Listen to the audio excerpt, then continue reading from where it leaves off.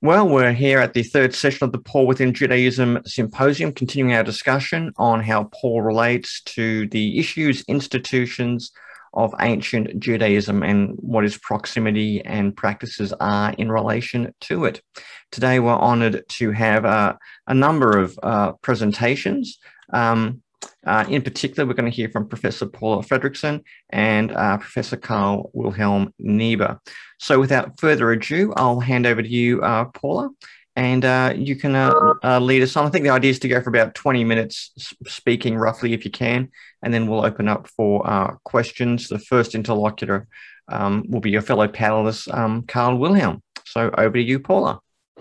Okay, thank you. Um, hello, everybody. I want to take um, a page from Josh's book and not read my paper, but uh, just sum up very quickly a few points uh, that I was trying to make because I'm much more interested to hear your reaction than I am to listen to myself um, summarize my own paper. I uh, also want to give a shout out to Mike for posting the first two meetings online because I was able to catch up a little bit, even though I wasn't able to be with you in real time. And I just want to give a shout out uh, to Ruben for his emphasis on the pluriformity of first century Judaism and uh, both Ryan and Ruben's observation, backed up nicely by Brian, that um, a translocal, uniform, authoritative synagogue, the synagogue, uh, is uh, didn't exist uh, in, in, a way that clears anything up. I also want to thank Mark Nanos for uh, clarifying that uh, the distinction between the addressee of Paul's letters versus the social composition of the ecclesia that's listening. Um, to I also think that uh, it's a it's a mixed group, and probably um, the the Jews in the group might have been the ones the poor, confused addressees turned to and said, "What's the part in the middle about Hagar and, and Sarah again?" So uh, yes, definitely um, mixed groups. And finally, um, I really appreciated Jorg's emphasis on the fluidity and the constructed nature of ethnicity. I think what's interesting, what we see with Paul, what we see with the genealogies in, in Matthew and in Luke, what we see with the uh, intercity diplomacy of uh, Hellenistic and later uh, Roman uh, power brokers, is that um, people are constructing genealogies but then they're acting as if the genealogies are essentialist. So it's it's a both and um, issue with uh, the way we're looking at, at, ethnicity, and that's why I tried to, uh, in my own paper, use the Greek word for kinship group, uh, uh, rather than um, ethnicity, because ethnicity sounds so social sciencey, and that social science was not on uh, in the first uh, in the first century. Um, finally, I just want to note that um, this idea of Paul's radical eschatology, an idea of an imminent uh, return of uh, uh, Christ as triumphant uh, figure, came and went. in and out of focus, and maybe that will be something we might want to address when we have the general discussion later. So, finally, to summing up um, uh, summing up my points, now that we're all agreed and in harmony about what we mean by Pauline Judaism, uh, I thought I'd want to make my next pitch, which is Judaism within paganism. And let me start by saying that we deploy isms as our own heuristic device.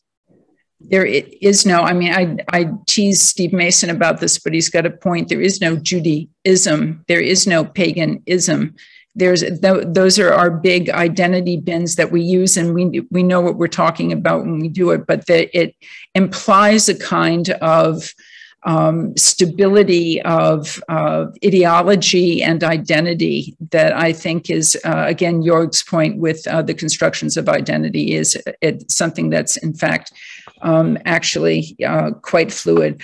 The emphasis I wanted to make in terms of the way heaven and earth are coordinated in antiquity was to emphasize the idea of family connections between gods and their humans and uh, humans with each other in their respective uh, people groups. And that was that was really the uh, the point of part one of my paper. Point uh, part two of my paper, Jews and everybody else. Um, in terms of identity, what what are we talking about when we talk about the ethne? And what do we think Paul's thinking about when he talks about the ethne? And also, here was the term that seemed to be most uh, uh, elastic and problematized in the discussion. How does ethnicity relate to the idea of Israel and, and Paul's letters? Uh, how, do, how, do, how do Jews and how do ethne uh, map onto, um, onto that word? So, in terms of Jews and everybody else, the point I wanted to make is uh, what we refer to in theology speak as uh, observing the law uh, is uh, Jewish paradoses, inherited custom, uh, really wasn't ever about salvation. And Jorg put this very nicely in his paper, I thought, when he said that for Paul, uh, circumcision is of no soteriological value. But my point is, uh, standing next to Jorg, is that uh, the observ- Jews doing Jewish things wasn't about soteriology. It was about Jews doing Jewish things, like Athenians doing Athenian things. And uh, so soteriology is something that comes into sharp focus because Paul's a member of the particular type of Jewish group he's a member of. But in terms of just Jews doing Jewish things, soteriology wasn't why, you know, those Jews who chose to stop uh, being on email on Shabbat chose to just do it, not so that they'd be saved. So, okay. And also, the other point about part two I wanted to emphasize is that Jews in antiquity did not live in a bell jar. Um, there was um, mixed eating routinely in professional guilds. Um, I don't know what the kids who were in the ephebate in uh, Cyrene were doing, but they were, if they were exercising in the nude and um, uh, learning about gods and rhetoric, they were probably eating together uh, too. And in Antioch, in particular, those nice Roman baths, um, people were bathing as well. So there's mixing that's going on, which is just part of being on the planet in the early uh, Roman Empire. I want to therefore also make the point that what we talk, speak of as God-fearers as a, again a heuristic category, it's although it's also an ancient term, or what we speak of as Judaizers as a heuristic category, which was also an ancient term, is that it it really I looked at a few inscriptions uh, while I was thinking about this, and um, a woman named Tation builds the oikos um, in her community and the inscription thanking her for this. She's a pagan. Um, she's an she's not a Jewish person, but she builds a Jewish oikos. Um, she gets her own a front seat, a proedria uh, in the uh, in the building itself, and um, Capitolina, another aristocratic uh, pagan, is it, it's not a two-tiered system. It depends on where what your social status is as a patron of the synagogue. Um, so just that, which is a fluid kind of um, thing as well. The third part of my paper on the law-free gospel. Um, I, I, wanted to emphasize that um, they're really the law free gospel is a kind of slogan uh, that we use in our classes. I've gone into print with it myself, but in terms of what Paul is asking of his ethne in Christ is is a form of Judaizing. If by Judaizing we use what the ancient term means, which is somebody who's not a Jew who's doing starting to do some Jewish things, and the Jewish things that Paul is insisting that his uh, listeners do is uh, worship only the God of Israel. That's a very Jewish thing. Um, no idols, and um, fulfilling the law. How much of the law? Well, not all of the law, but some of the law. So it's and the law itself is and and the God and the this um, aversion to worshiping images of uh, deities are ethnically specific behaviors. So uh, even Paul despite his rhetoric in Galatians, is teaching a kind of um, uh, teaching law of obedience in a sense that obedience is in the right way. He's he's Judaizing his his Gentiles as well. Part uh, four on the end of the ages. I just simply wanted to um, uh, emphasize there that uh, one of the reasons Paul is confirmed in his conviction that he does live at the edge of the end of time is precisely because of his success in uh, imparting pneuma to uh, his Christ communities, uh, the ecclesia, and, and that's reinforcing uh, their status. And here's where Josh and I usually dance around with what do we call these people? Are they um, uh, are they Gentile Jews? That was uh, Josh's um, uh, experiment. My experiment was calling them eschatological Gentiles because they're not, the point is that they're ex pagans, but they're not ethnically Jewish um, as well. So, um, converts are a particular type of Jew as again Jorg uh, pointed out, their their um, their status is um, different from that of a born Jew, and also different from somebody who's an active pagan. A God-fearer could be uh, an active pagan, and we have plenty of inscriptions about those people. Um, ancient people, when both classical authors and um, Jews, when they speak about what we talk about as con- conversion, they don't speak about changing eth- ethnicity or changing syngeneia. What they talk about is moving from one use, uh, one law to another type of law or to another type of polity. Uh, so they're using the language of political affiliation when they talk about uh, a radical kind of the a radical kind of Judaism to the point, Judaizing to the point of of um, becoming an ex um, an ex pagan. So, what is the uh, status of these eschatological Gentiles? And here again, there's uh, in terms of how we designate these people. I think the main idea for Paul is that they join the family. That's why he calls them Adelphoi. And that's why he emphasizes adoption. So Gentiles join the family through adoption, which is effected by Christ and conferred through pneuma. So, um, whereas Israel has been adopted by God according to Romans 9 4, um, the Gentiles, the ex pagan Gentiles, are adopted uh, through Christ. So it's this this eschatological adoption program that, and adoption means that you join a and in Roman culture, you you literally join another family and you become responsible to the, the, gods of that family and to the ancestors of that family. But it's a different type of status. Only a non family member can be adopted into uh, the family. So there's a yes, but aspect to adoption as well.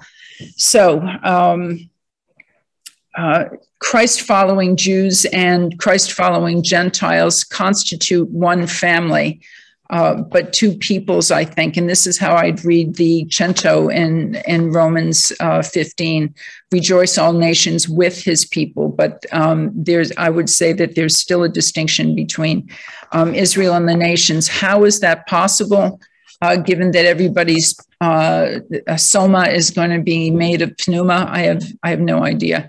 But uh, in terms of reading Paul within Judaism, and this is section five of my paper, I'm a maximalist when it comes to reading Romans 11, 25, and 26.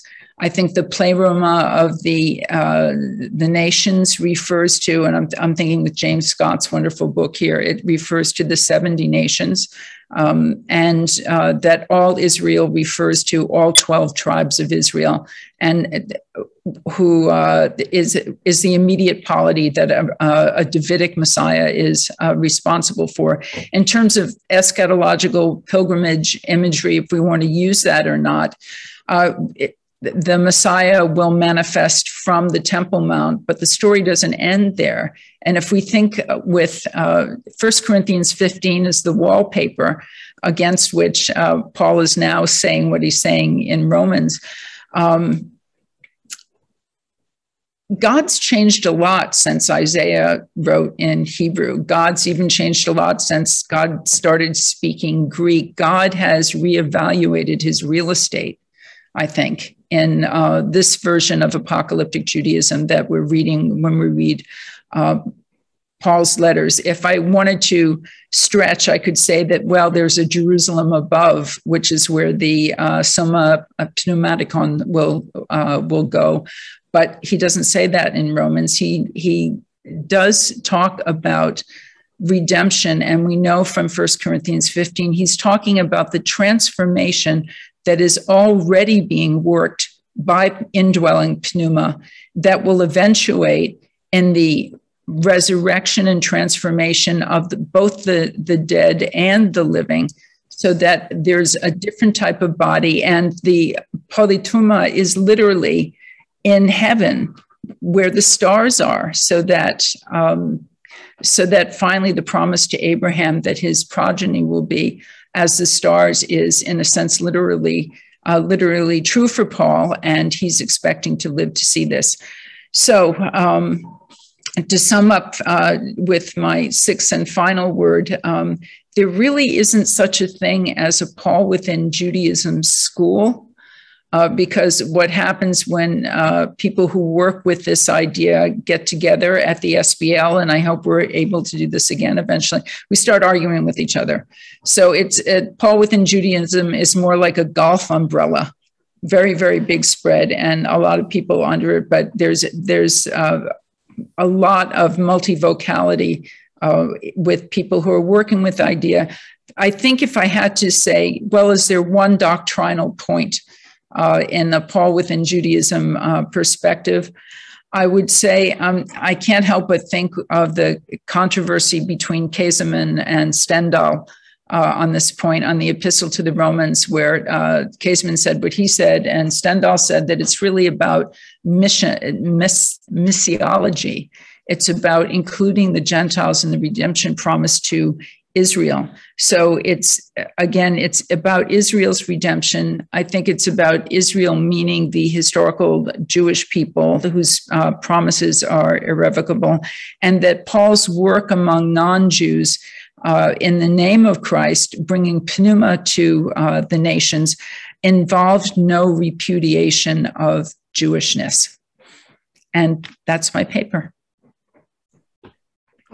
Excellent. Thank you very much, Paula, uh, once again for being uh, succinct, uh, which gives us uh, a lot of time for questions. So I'll hand over, first of all, to Karl-Wilhelm. if you'd like to um, ask some questions or make some comments of your fellow panelists. Yes, of course, I do. Thank you very much. And thank you very much, first of all, to Paula. It was, as always, a pleasure to listening to your presentation as well as to read your paper, which I did twice and mm. which I have done quite a lot of time now. I think since early uh, of the 90s, I read your papers and I was always, uh, uh, I got a lot of learning from your ideas and your presentations. But I think my task now is not to uh, make any more compliments to you, but to raise uh, some uh, points for our further discussion, which I would like to do with with regard to three points which refer to what you have written in your paper. First, uh, with regard to the question of Jews and Gentiles living in the Roman Empire in the diaspora, your pages three to six. Of course, it was uh, uh, very uh, highlighting what, what you are uh, um, describing there, uh, lots of, of different situations. But what you are describing seems to me is a rather peaceful picture of Jews and Gentiles living together and mixing in the Greco Roman world. However, what about the conflicts we know of? For instance, the Caligula crisis, the pogroms in Alexandria, or the efforts of Josephus to collect as much as he can privileges and special regulations to protect Jewish communities in the diaspora against lots of trouble. On this, see already uh, the, I would like to refer already to the, the book of Gerhard Delling, which appeared already in 1987, where Delling gives a little bit more nuanced picture of Jews living in the diaspora, consisting of an omnipresent tension between, on the one hand, dissociation, what Delling calls Absonderung, and on the other, opening, Öffnung or commitment, Bindung, and mission, Auftrag, or privileges, Sonderrechte, and testing, Erprobung. And I think this tension, this omnipresent tension between both sides is quite important if we look for the situation of Jews living in the diaspora in the uh, Roman Empire. Second point, I refer to the question of Paul the Israelite, uh, your pages six and the following. Of course, I agree to your point about Paul's safe description as an Israelite in Romans 9, verses 3 to 5, and I have already uh, expressed quite similar ideas in my book of 1992. However, again, what about the conflicts that Paul had to experience as an apostle as well? Conflicts with Jews and non-Jews, conflicts in synagogues in the diaspora, as well as in Jerusalem, where he returned quite purposeful. Why does Paul in Romans 9 verses 2 to 3 express to such an extent vividly his deep sorrow and anguish and says that he wishes to be accursed and cut off from Christ for the sake of his own people. Is this just rhetoric? Or does it arise from Paul's deeply felt desire that his fellow Israelites would profit as well from God's eschatological agency in Jesus Christ? And now my third point regarding Käsemann's Paul and the Paul at the SNTS or SBL. That's in the beginning and the end of your paper. I have to confess that during the last three decades, when I attended scholarly meetings, I didn't meet that many exemplars of such NT scholars who still adhere to Käsemann's view on Paul and Judaism. And neither at the SNTS nor in our German uh, speaking scholarly community. This does not mean that everybody now would subscribe to the Paul within Judaism approach. However, recent discussions about Paul seems to me much more variegated than the picture you give in your critical remarks at the beginning and the end of your paper. It would become still more multifaceted if you would take into consideration quite a lot of monographs and articles published in German or other languages on Paul and Judaism after Käsemann during the last three decades.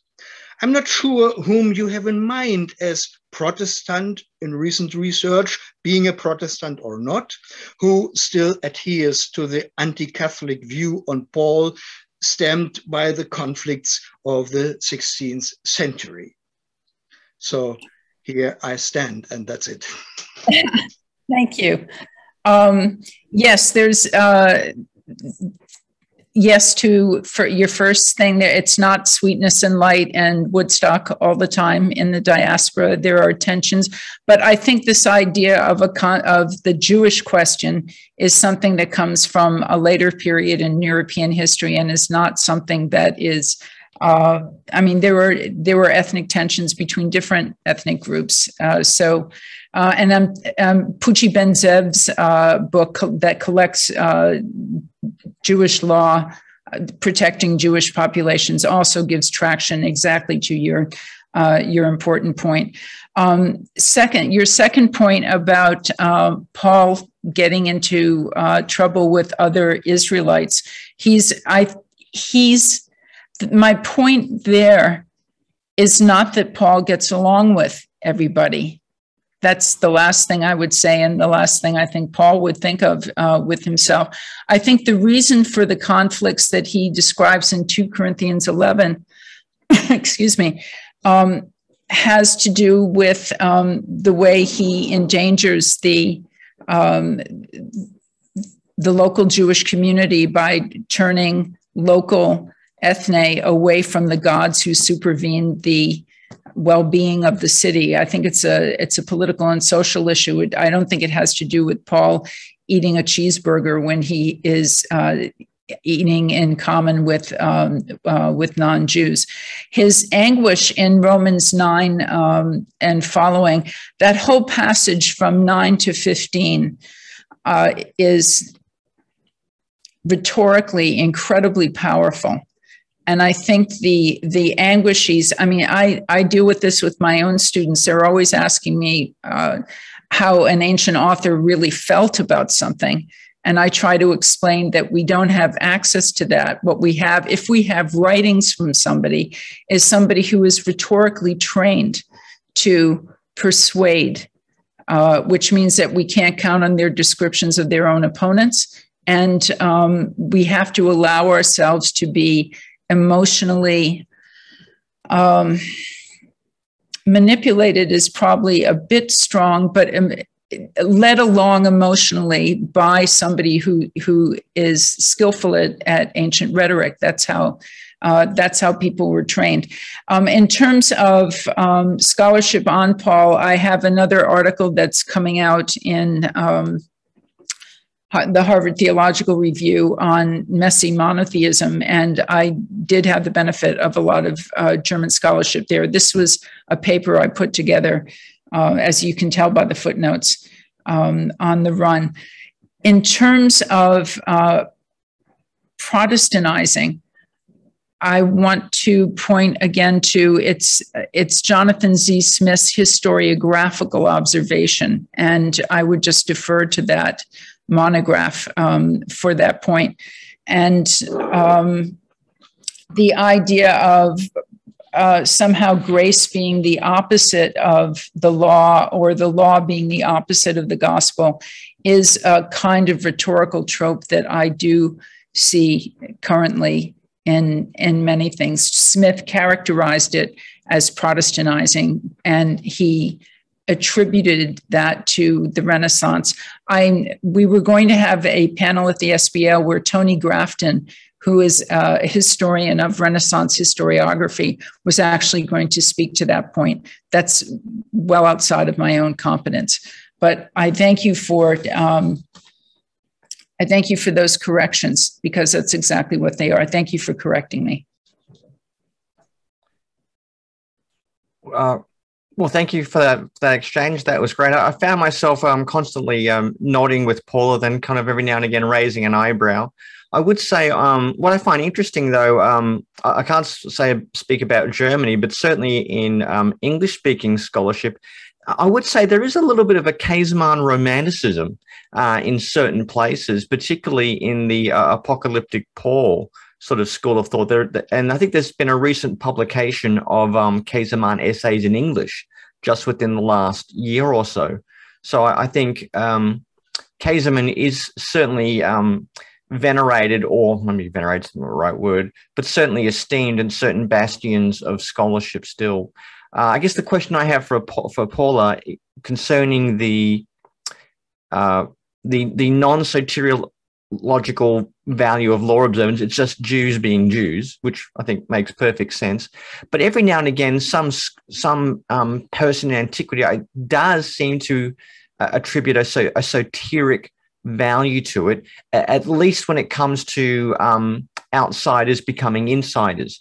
And if you, what came to my mind initially was Luke uh, was Acts 15, where you've got Luke setting up the debate between um, Antioch and Jerusalem and you know, the Jerusalem Council, Luke sets the the, the discussion up um, uh, in terms of you know that the Gentiles must or the ethne must observe the law to be saved, and and that's the language that Luke uses. Now, obviously, Luke is not Paul, but Luke is an interpreter of Paul. He's looking at the Pauline debates and saying this is a debate about salvation. Um, whereas really it's a it's a debate about you know do do the ethne have to become in whole or in part um dios to be part of these um, Christ believing assemblies. Uh, is that because Luke is a, a different generation, Paula, or is, is is this at least one way of understanding the debates that Paul's having within his own community? Well, I, th- I think that, first of all, thank you for the question. Um, Acts 15 is obviously a very important text for, uh, for us. I think that um, in terms of if you're in a, I've described elsewhere that Jewish apocalyptic thought is a river and an ocean of Jewishness. And if you're in an apocalyptic, uh, let, let me mix metaphors hopeful, hopelessly, uh, frequency, um, there everything becomes a, a messianic movement is about soteriology and if you're not part of a messianic movement you're you know your family's always eaten like this. Your family's always done this this way. This is what you do in the middle of april or something like that. So it's um, the law itself intrinsically and in, as enacted isn't done as a soteriological effort. I think what luke is dealing with there is one of the way and i can't remember which of you has already said this uh, in the two previous um, meetings. Um, Luke is dealing with a course correction there because that's a way that Paul is beginning to be interpreted, and he's um, and he's saying no. Okay, good. That's I think I think that's right. I mean, the Jews are just keeping the law and being Jewish. They're not constantly thinking, "Am I earning my salvation as I'm doing this?" But when you ha- do it differently. I want to uh, give a, um, a nod to the much maligned allegorizers in Alexandria. um, they weren't being lax about uh, circumcision, they were being so committed to a spiritual understanding of the law that they didn't circumcise because that wasn't what the law was actually doing. It was pointing toward, um, and this will uh, touch on uh, with the next paper, pointing to the higher meaning of the law that the material enactment of the law was a shadow of, um, in a sense. So the um, different Jews did things differently, and the rule of thumb is somebody to the right of you is a fanatic, and somebody to the left of you is is sloppy, and it doesn't matter where the person in the middle is that's that's just a general rule but there's i think the point that's coming out so usefully in this in this conference is the variety of ancient, we can't speak of, that's why I talked about Judaism being our heuristic device and it's different enactments of Jewishness that is the situation on the ground. Thank you. I think we can open up for uh, questions a little bit broader now as well. Uh, so anyone from the uh, from the wider group have any questions for Professor Fredriksen? Uh, Jürgen, uh, I'll hand over to you. Yes, Paula, thank you for your uh, paper, I would like to to uh, push a bit further the question of Karl-Wilhelm on Romans nine, the first verses. If we are if we agree that Paul was an, strongly shaped by apocalyptic thought, um, eschatology was very important for him. The the the acting of the spirit uh, is is important for him. So this is, I think, um, and opens up the category that we can speak in Paul's terms of soteriology, what the, of course the rabbis don't do, and a kind of covenantal Judaism uh, doesn't do, but not every Judaism is covenantal Judaism in, in that unified sense. But we have that uh, those uh, apocalyptic writings that, uh, of course, uh, reckon with the fact that within Israel there are people who who leave uh, the the community or who leave the um, the community with God, uh, and and all these experiences, I think, um, help to understand also Paul's uh, wrestling about uh, that his kinspeople uh, should be should share that um, blessing of, uh, of, of of the Messiah and not not be cut off. And and uh, the, the the rhetorical figure at the beginning of Romans nine is something like, well, almost like Moses. So I would be rather cut off and uh, that they that they receive um, the, the, the blessing. So uh, can we can we uh, from the apocalyptic thought can we find a, a clue for these for these um, expressions? The, the, expressions of grief and frustration. Um, and and also also that he uh, presupposes that his some of his kinspeople are not sharers in that uh, uh, beneficial right. situation uh, in the Messiah in the Messiah that God has uh, brought up. Right. I, th- I think, um, uh, like Gaul, uh, Jews are divided into three group- groups for Paul. There are the Jews who agree with him. They're the Israel of God and the, the called and the remnant currently on the right page. There are the Jews within the movement who disagree with him. He still calls them Israelites they're still Israelites, they're still Hebrews, they're still sons of Abraham. So even even his opposition um, is, uh, is still considered under the umbrella. And in terms of the rest of Israel, what Paul sees as a divine comedy. Uh, by the time, because nine sets up the resolution that we see in 11 and repeated in, in 15. I mean, he's, he's, it's so powerful and that's what gives the every all Israel will be saved is where that where nine one and two is is uh, leading to. So I think uh, again uh, this goes back um, uh, to another question. I think that Paul thinks that ultimately both his people and the fullness of the nations are going to receive the grace of Christ. I think for him, history ends on a single note for both human groups. Um, and that's the that's the big picture that we see at the at the end of Romans. So I, I think, and on this point, I like Origen more than I like Augustine. Um, mm-hmm. God doesn't throw anyone away. Everybody is saved, but it's everybody saved through Christ. I think is what Paul is saying there. Mm-hmm if I may, if I may um, push back a bit, Paul had pains to come to that conclusion, and he, in the, in the end, states it was a it was a revelation, a kind of mysterion uh, given to him, and and we see that uh, at least uh, at some parts of his uh, way before that, uh, Paul was not convinced. Uh, of that solution he got in the end, and he now phrases in the end of Romans 11. Right, and he also he's had wrath going after the um, the Thessalonians who did not know God. Yeah. Uh, yeah. Right, and then that whole idea of wrath is um, nobody, everybody's going to be saved at the at the end, uh, according to I I like to think is is what Paul meant when I read Paul. That's what I want him to mean. But you're right. There's a he his thought changes. Thanks. Thank you, Jürgen. I believe, uh, Ron, you've got a question as well. Uh, yes, sure. Well, thank you again, um, Paula, for the paper and, uh, and the summary. Um, I have this uh, that I've been struggling with uh, to understand, and uh, I, I, hope that you can help me here. Is Paul is he is Judaizing the the ethne, and you have ex, and this is using your language, ex-pagan Gentiles, Christ following or Christ followers. But do they, what do they become? uh, when you say, do they become Jews because they are ex pagan Gentiles? What do they become? Um, it depends if you're talking to Josh Garroway or to me.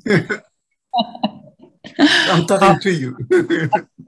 um, I think they become eschatological Gentiles, the type of Gentiles who are available as narrative characters in Isaiah and those those passages of um, they're they're Gentiles who have smashed, or the Gentiles you see in Tobit who who smash their idols and turn to um, and turn to God.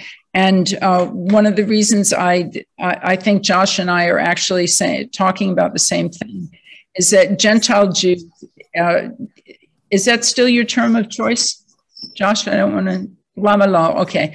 Um, it's it's a family connection, but it's it's a family that's a family of uh, people adopted into the family. So they're they're not Jews. That's that's the point. Uh, but they're not pagans either. That's also the point. And the God they're worshiping is not just a generic Theos Hypsistos. He's the God who's the father of the Davidic Messiah. But by the way, I would just add to that that I, I think the problem is there. The point of the term Gentile Jew was simply to note that there is no term, and that's precisely why a term like Christian ultimately emerges because you have a phenomenon that you can't describe with the language that exists. So new language emerges. That's that was what I would say. Right. It's because it's what's this is what's so makes me so happy that we have this evidence remaining from this earlier point in the movement. Um, it's a sociological anomaly, a novum that's being brought into existence through this movement. And that's why um, I hesitate to use the word Christian, even though I, that's what I'm sort of thinking in a way, because Christianity as a separate thing from Judaism doesn't, isn't something Paul Denver knew. So.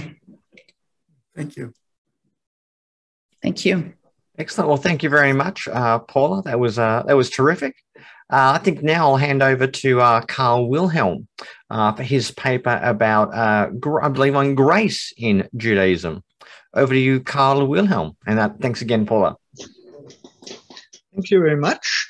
In my following presentation, I intend to broaden and to press ahead the debate on Paul within Judaism by including in my survey a source contemporary to Paul that has its own history and place with regard to a within Judaism debate. The letter of James is considered to be Jewish by several modern authors, although it has been transmitted only as part of the New Testament.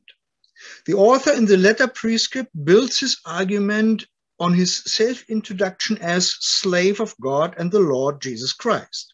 And he reminds his brothers and sisters to their common faith in our glorious Lord Jesus Christ. Nevertheless, this does not make him a real Christian for some modern exegetes, or his letter a Christian source, because most of the features typical for other Christian documents are missing here, particularly in comparison to Paul. I wonder whether the recent debate on the Epistle of James and its place in the New Testament may shed some light on the Paul within Judaism debate as well. Perhaps this debate can be fertilized by realizing that the place of other NT writings with regard to Jewish sources contemporary to them is at stake as well. By taking into account such debates, perhaps the Paul within Judaism debate develops to a Paul within the New Testament discourse that may prove to be fruitful for both ancient Jewish studies and New Testament scholarship. The methodological approach I'm going to apply here is borrowed from the Corpus Judaeo-Hellenisticum project that undertakes to study ancient Jewish and New Testament texts in mutual perception wechselseitige Wahrnehmung. By speaking of wechselseitige Wahrnehmung, I want to indicate that the New Testament writings are to be acknowledged as part of Hellenistic Jewish literature in a broader sense and can be used to complete our understanding of ancient Jewish religion and culture. Applied to Paul's letters and to the question of their relationship to the Epistle of James, this approach implies that both documents own a potential to broaden our horizon when we ask in which way Paul, and James as well, can be arranged within the plurality of expressions of Jewish practice and belief in the period of the Roman Empire. Most Pauline scholars, meanwhile, accept that the Judaism Christianity divide has proved to be anachronistic with regard to the historical origins and the developments of Paul's mission to the Gentiles. This consensus applies to the terminology used and to the historical realities behind it if we take into account the plurality of Jewish groups and convictions and the plurality of groups and convictions of Christ followers as well, to avoid the term Christians. I hope that such a consensus will grow likewise in Jamesian studies. Both Paul and the letter of James, irrespective of the identification of the letter's historical author, should be listened to as voices that express beliefs and push religious attitudes and behaviors that are deeply rooted in the convictions of the people of Israel, as testified in the scriptures and in ancient Jewish texts. Before I start my brief survey of texts, I want to clarify some of my assumptions with regard to the historical circumstances of Paul's letters and the Epistle of James, and with regard to the theological uh, convictions expressed by them. I assume that Paul and James wrote their letters independent of each other, although both certainly knew of each other as important figures of the earliest stages of the Jesus movement. Furthermore, both authors base their theological arguments on the conviction that Jesus is the Lord. That means the eschatological representative of the God of Israel, who acted to fulfill God's will and to cause a new life for those who direct their faith in him. This implies that both belonged to the variegated and widespread religious movement that emerged from the impact of the life and death of Jesus from Nazareth. In addition, both authors build their theological arguments on the scriptures of Israel and argue that in these scriptures, God had revealed his eschatological plans for his people. For both James and Paul, the salvation of Israel forms a constitutive part of their religious convictions. Yet at the same time, both base their arguments on faith in Jesus Christ, although by developing quite different ways of reasoning to justify their convictions. The main difference between Paul and James refers to the place of the Gentiles in the run of the eschatological events and to the consequences resulting from this place for the religious behavior and the beliefs of the communities they address. Whereas for Paul, the inclusion of Gentiles into the communities of believers without becoming Jews by accepting circumcision forms an identity marker of his mission and his theological arguments, that matter seems to be ignored completely in the Epistle of James. Therefore, the theological arguments in the letters of Paul and James, although sometimes sounding very close to each other, should be carefully distinguished. The thesis I'm going to demonstrate in the following survey of texts is that Paul and James are two different Jewish voices that speak about the salvific agency of God in Jesus Christ at the end of time. Both, therefore, represent in different ways agencies of grace in Judaism. I start my analysis by comparing two passages that usually do not play any role in the debate on Paul and James as related to each other. The argument in James chapter 1, 13 to 18, on the one hand, belongs to the soteriological center of the letter, uh, to say it with Matthias Konradt. What Paul renders in 2 Corinthians 4 1 to 6, on the other, is part of his argument to defend his claim to be an apostle of Jesus Christ. Nevertheless, both arguments base upon a reference to God, the creator of the world, who has acted eschatologically by sending Jesus Christ, the Lord and Savior, to salvage those who believe in him, God, by believing in him, Jesus Christ. This makes both texts fitting for our search for agencies of grace in Paul and Judaism. I skip the next paragraph. It is apparent that the theological and ethical intentions of the letter base on faith in God and Jesus Christ and direct the addressees to a practice and belief that focus particularly on fair social relations. However, before it comes to faith and works in James, the thematic concern of the letter is the origin of faith in God's agency. The unity of hearing and doing, of receiving the word of God and displaying the faith received by disposing justice to each other, results from the faith donated to the believers. At the soteriological center of his letter, the author does not speak of the relationship between faith and works, Instead, he stresses the good gifts of God from above, the word of truth by which the believers are newly born as firstlings of his creatures, and the process of receiving and listening to the implanted word which is able to save your souls. In James 1:17, God appears the second time in the letter as a generous donator. Already in 1 verse 5, the author had appeared, appealed to his readers if any of you is lacking in wisdom, ask God who gives to all generously and ungrudgingly, and it will be given you. Now in chapter 1, verse 17, he renders it like a mnemonic that every generous act of giving with every perfect gift is from above, coming down from the Father of lights, with whom there is no variation or shadow due to change. The terms pasa dosis agathe and pan dorema teleion seem to be interchangeable. The pleonastic phrases pasa, kai pan express rhetorical power. The addressees may expect from God anything imaginable good. For the author of the letter of James, as well as for his audience, God is above and is called the Father of lights. Such terminology points to conceptions of God in Hellenistic Roman and biblical and early Jewish sources as well. The lights probably refer to the heavenly luminary bodies that belong to most of ancient conceptions of nature. In the Greek Bible, however, the plural phota for the stars occurs only once in Psalm 135.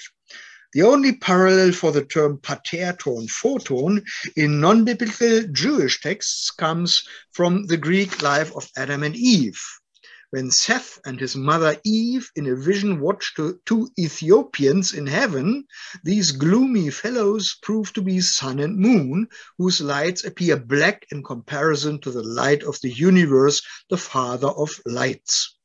Even the angels in heaven venerate God as Father of lights. To call God Father is a common concept in antiquity. The Homeric phrase about Zeus as father of gods and human beings is perceived in Platonism and Stoicism to reflect the relationship between the divine and the cosmos. In Hellenistic Roman philosophical theology, as part of metaphysics, such a combination of reflections about God as Father, the origin of the cosmos, and the power of the divine over the cosmos and over human beings formed an area of reflection that became a fruitful land for early Jewish theological thinking as well. Certainly, to avoid any mythic implications about a divine procreation of the cosmos, the biblical restrictions of understanding of God bounded by the first commandment of the Decalogue remained valid for every Jewish thinker. However, this confinement did not prevent them to reflect on the relationship between God and the creation by borrowing terms and conceptions from Greek philosophical traditions.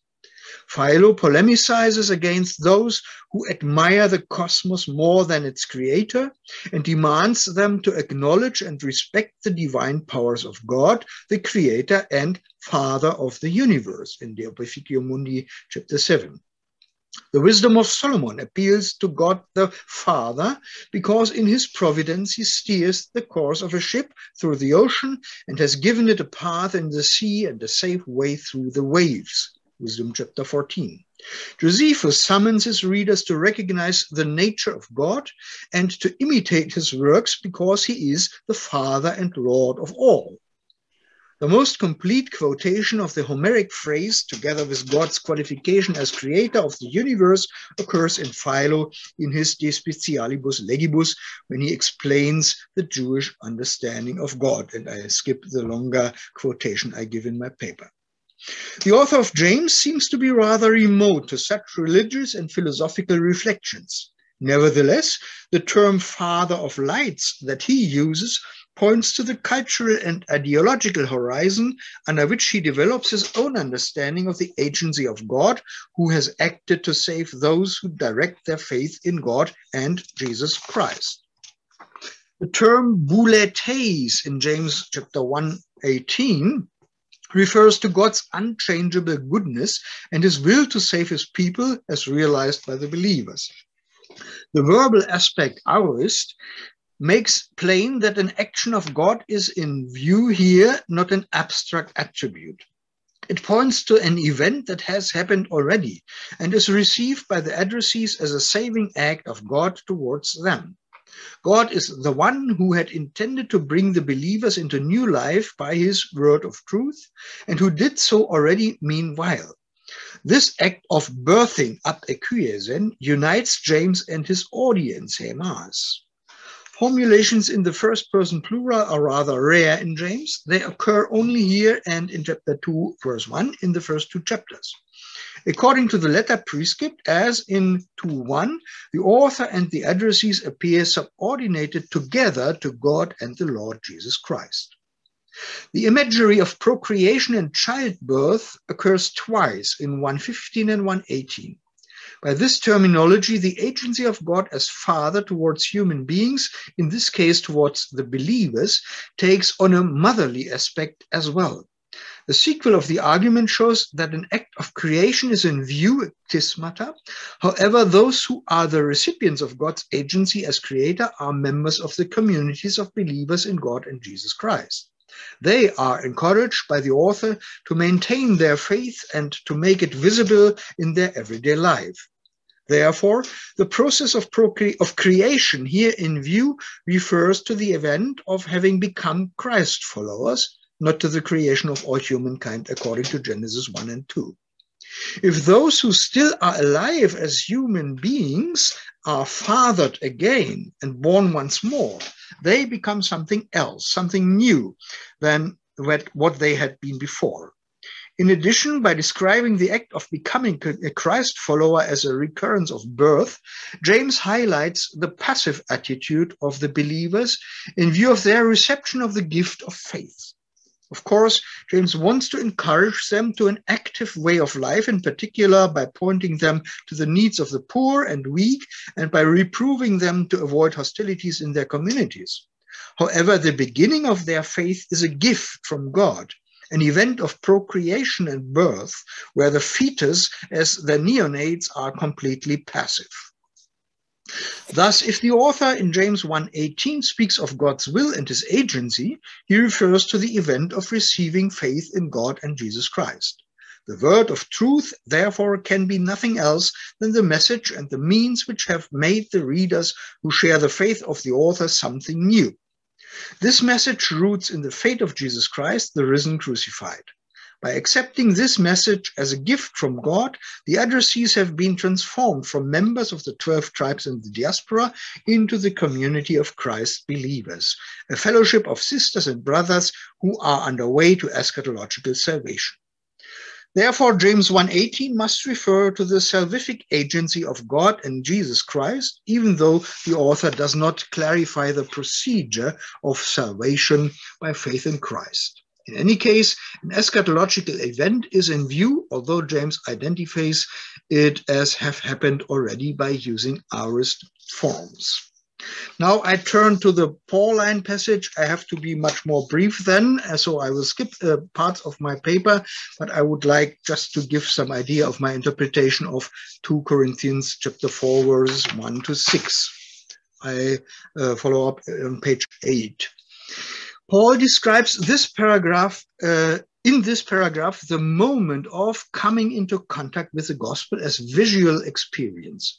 Therefore, we may assume here a reference to Paul's own visionary experience in the course of his conversion. The term image of God attributed to Christ in verse 4 may refer to Genesis 1:26, according to which all humankind has been made in God's image and likeness. However, in the context of 2 Corinthians 4, the visual experience mentioned points to the perception of God by receiving the image of Christ. Thus, in verse 6, Paul speaks of the light of the knowledge of the glory of God in the face of Jesus Christ. Therefore, visual perception and reflective insight focus to this particular human being called Jesus Christ, not to any human beings created in the image of God. This Christological interpretation of the image of God is emphasized by the term doxa that pervades the whole argument.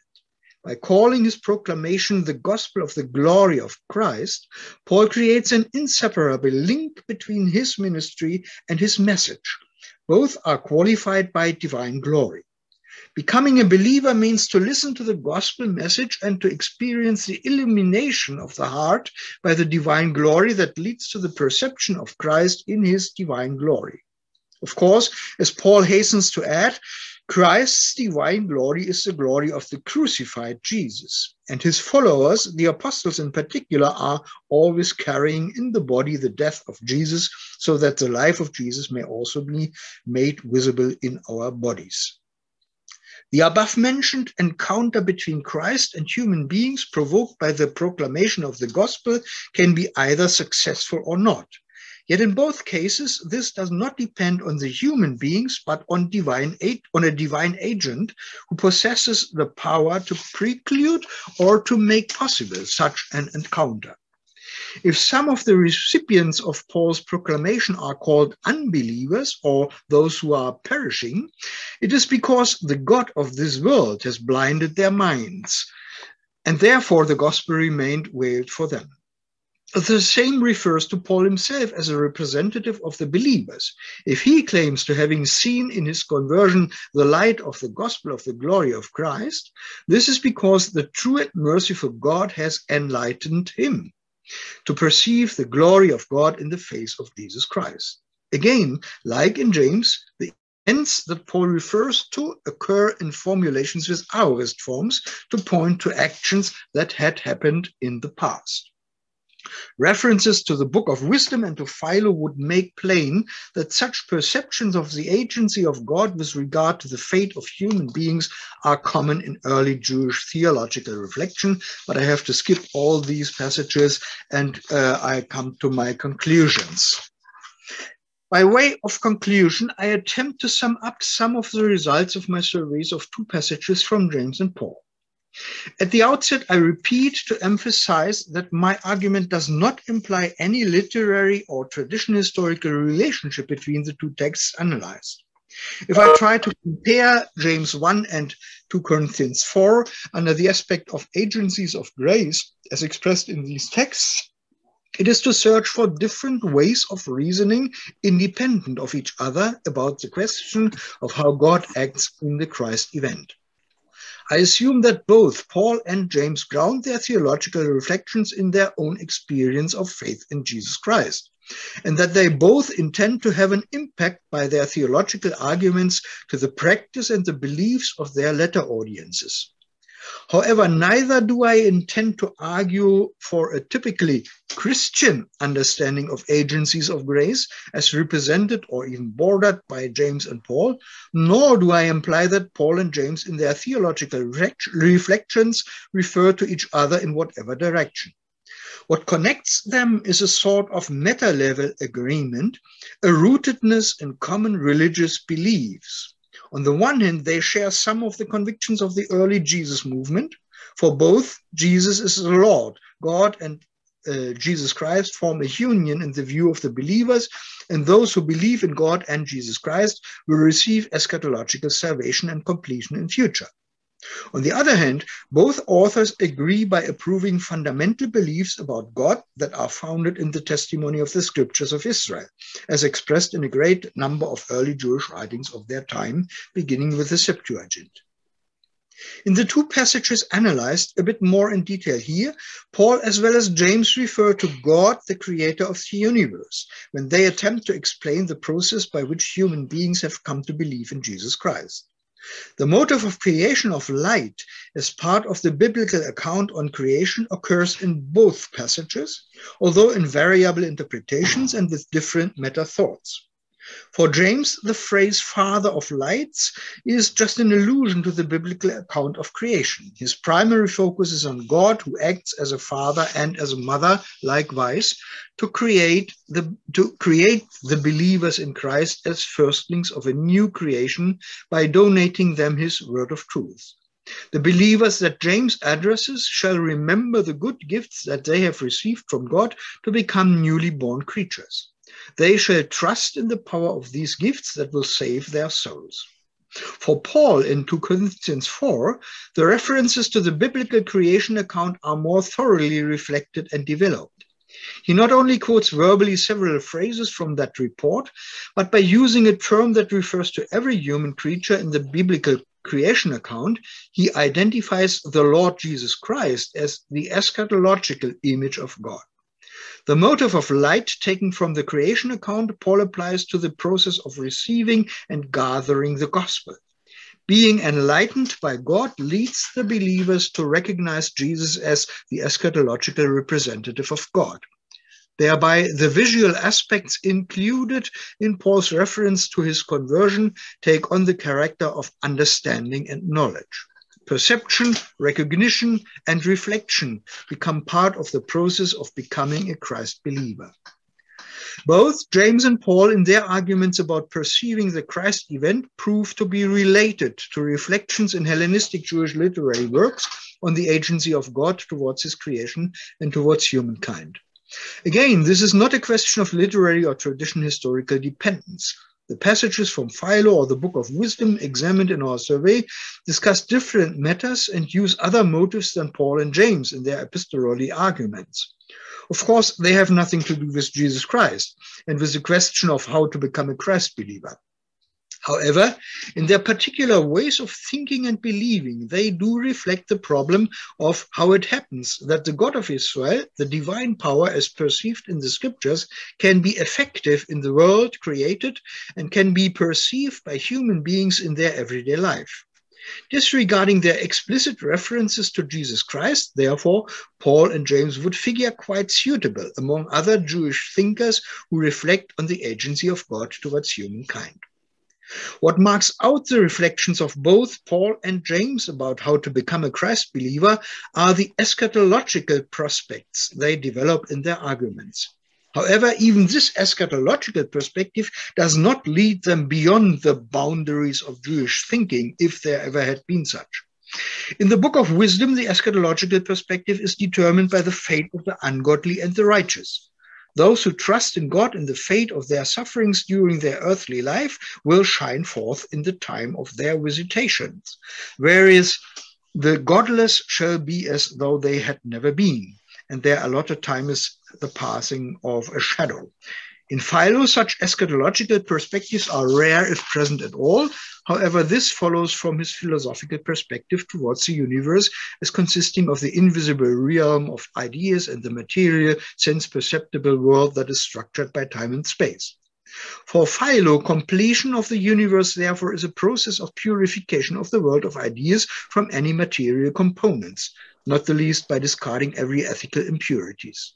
In any case, if James and Paul direct their views towards the eschatological completion of the creation by God and towards the salvation of those who believe in Christ, this does not make them un-Jewish. Rather, their particular way of dealing with the problem of future expectations results from their faith that is rooted in the biblical promises about God's agency towards his people and shaped by referring to Jesus Christ as the foundation of their eschatological salvation. Thus, James and Paul agree to each other about the agency of God who enables and brings forth eschatological salvation for human beings who direct their faith in Jesus Christ. For both, God is a subject of the events that transform human beings to followers of Jesus Christ by faith. For both, such faith is a gift of God, not a work of the believers. In the understanding of both James and Paul, to believe is a passive attitude that orients the minds and the whole lives of the believers to the agency of God, an attitude of receptiveness. However, both also agree that such a faith has to become visible in the attitude of the believers towards their neighbors, to the weak and the poor in particular. Thank you very much for your attendance. Thank you, thank you, Karl-Wilhelm. It was excellent. Uh, Paula, I'll offer uh, open to you if you want a, a writer reply or a comment or anything you want to add to that. Um, this was such an amazing combination of very, very fine grained exegesis with an amazing helicopter tour of the possibilities of philosophical Hellenistic Judaism. I just want to say, first of all, thank you so much for um, the paper. I so much of it lies beyond my expertise. I I hesitate to to ask a question, but I will anyway. Um, on page uh, two, I'll ask several, and then you can, uh, with the time we have, you can uh, choose how to um, which to answer. On page two, in the uh, almost in the middle of the page, uh, you you're talking about uh, the Lord as the eschatological representative of, the God of Israel. This implies that both belonged to the variegated and widespread religious movement that emerged from the impact of the life and death of Jesus. Um, I wanted to, I was surprised you didn't say, and the resurrection of Jesus and his return.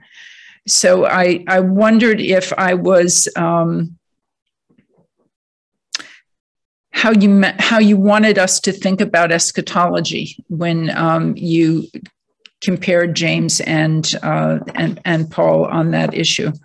A second question uh, has to do with uh, Middle Platonism and your incredibly enlightening enlightening is the right word. Um, uh, discussion with uh, Philo and uh, De Opificio Mundi. Uh, this is on page 10 uh, talking about uh, Philo's conceptualization. It's the it's the block paragraph that's quoted there. I won't read the quotation. Um, and and Philo, because of this two-layer universe, um, I, I, also thought of John three with "If you're not born from above," um, or uh, born again. The if for Philo, what seems to be uh, the threat of compromise of this light, uh, where he has here the unmixed and pure gleam has its brightness dim when it begins to undergo a change from the intelligible to the sense perceptible. Um, thinking with Middle Platonism, it, does Philo, and this is a question about Philo, um, does he talk about Hule as um, something that is responsible for uh, this this mixture of uh, above and below that can compromise um, uh, the I don't know to call it the believer, the thinker almost um, in Philo. And then finally, a third question uh, you mentioned in Second Corinthians uh, four four the uh, the agents who fight the the non human agents that fight against um, um, the will of God, the pro, God's program, God's grace. Um, and I wondered again if, in terms of the Philo and wisdom, if what um, Paul characterizes as a, a lower deity, um, and elsewhere he talks about Satan being an agent of frustration.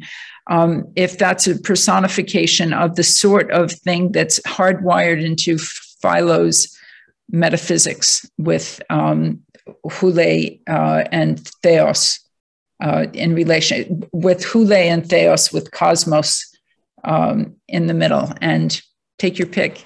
I know we don't have time for all three questions, but thank you so much for your paper. No, thank you for, for these interesting questions and uh, important points. And I only can, in a very limited way, uh, uh react to your questions. First, uh, regarding resurrection um, as part of what we uh, call the Christ event. Uh, I hesitated to include resurrection at that thought when I wrote it because of course, in James, uh, resurrection is just uh, implicit. It's not explicit there, uh, uh, other than in Paul. I'm quite sure that also for the author of the, the Epistle of James, resurrection would be a part of his uh, uh, his cosmos of uh, convictions. Otherwise, I couldn't imagine that he can himself introduce as the slave of Jesus Christ, as he does in, in the in the preface of of in, uh, prescript of his letter. This implies that uh, he would would share the common belief of others who belong to this movement that uh, Christ uh, is risen. Uh, he also doesn't speak about the crucifixion of, of Jesus, of course, uh, the, the author of James. Uh, but it, it's implicit uh, other than in Paul where it is explicit. I think there's not that big difference that one should see here um, what is Widerspruch, an opposition between James and, and Paul for me, uh, in this uh, part of my argument, it's more important to, uh, to say that both have a common ground, a common ground in this movement, which we shouldn't uh, call Christianity, uh, but rather a, a, Jesus Christ movement. And uh, there are several parts who belong to this shared common faith, and this is Jesus is the Lord, and Jesus, this implies his uh, resurrection, and the resurrection implies his crucifixion. So I wouldn't make such a big difference here. The other two points refer to Philo, and of course, one uh, would have to be much more deeper in this part. It's it's very uh, on the surface what I am explaining here. Uh, if we try to compare Paul and Philo, or to, to put both in a sort of spectrum of, of uh, opinions shared in, in this Jewish Hellenistic world of thinking, I would say uh, we have to have in mind the, the difference of genre. Uh, Paul is not a philosopher, but Philo is in a way. Uh, both refer to the Torah of Moses as their basic uh, uh, level of, of uh, uh, reflection, but uh, they do different sorts of literature. Whereas Philo creates really philosophical arguments and also uses sometimes genres of, of, philosophical literature, dialogue, for instance. I mean, not in the Opificio Mundi, but it, it's a treatise but uh, there Philo quotes uh, verbally philosophical authors, Greek authors, and, and uh, calls their names. And that's quite different than Paul. Paul has a, a rather uh, related um, universe of ideas in mind, but he is doing another sort of literature. And so when Philo uh, speaks about Hyle and speaks about the sense perceptible world and, and the world of ideas, this is a form of, of reflection uh, Paul doesn't is interested that much in. So uh, uh, Paul maybe is a little bit more close to uh, ancient Jewish traditions from about a second power in heaven or about Satan, about other powers he has to to uh, uh, take honest, but he doesn't do philosophical reflection. And this maybe is the biggest uh, distinction between Paul on the one hand and Philo on the other. And so Paul and the author of the letter of James are much close, much more close to each other than both are to Philo. But for me, it's more important to see that they all agree with regard to their base of, of reflection, and that is the scriptures of Israel. And of course, uh, uh, Paul and James share the common faith in Jesus Christ. Sorry, I, that's just very briefly, but uh, thank you. I hope. Uh, thank you. I, I have another question. Is is that okay? Um, I just got the first volume of the Historical and Theological Lexicon of the Septuagint, Volume One, which um, is about five centimeters thick and it only gets to gamma. Um, and what struck me as I looked through it is that the uh, definitions of the terms in this lexicon are laid out Hellenistic Jewish literature. And then the next category after that is the New Testament. If you were the editor of this volume, you would not have done that. Am I correct? You are correct. And I'm not the editor, but I'm one of the authors. And so I, I did the article on anastasis uh, in, in this lexicon. And of course, I had a problem uh, with this distinction.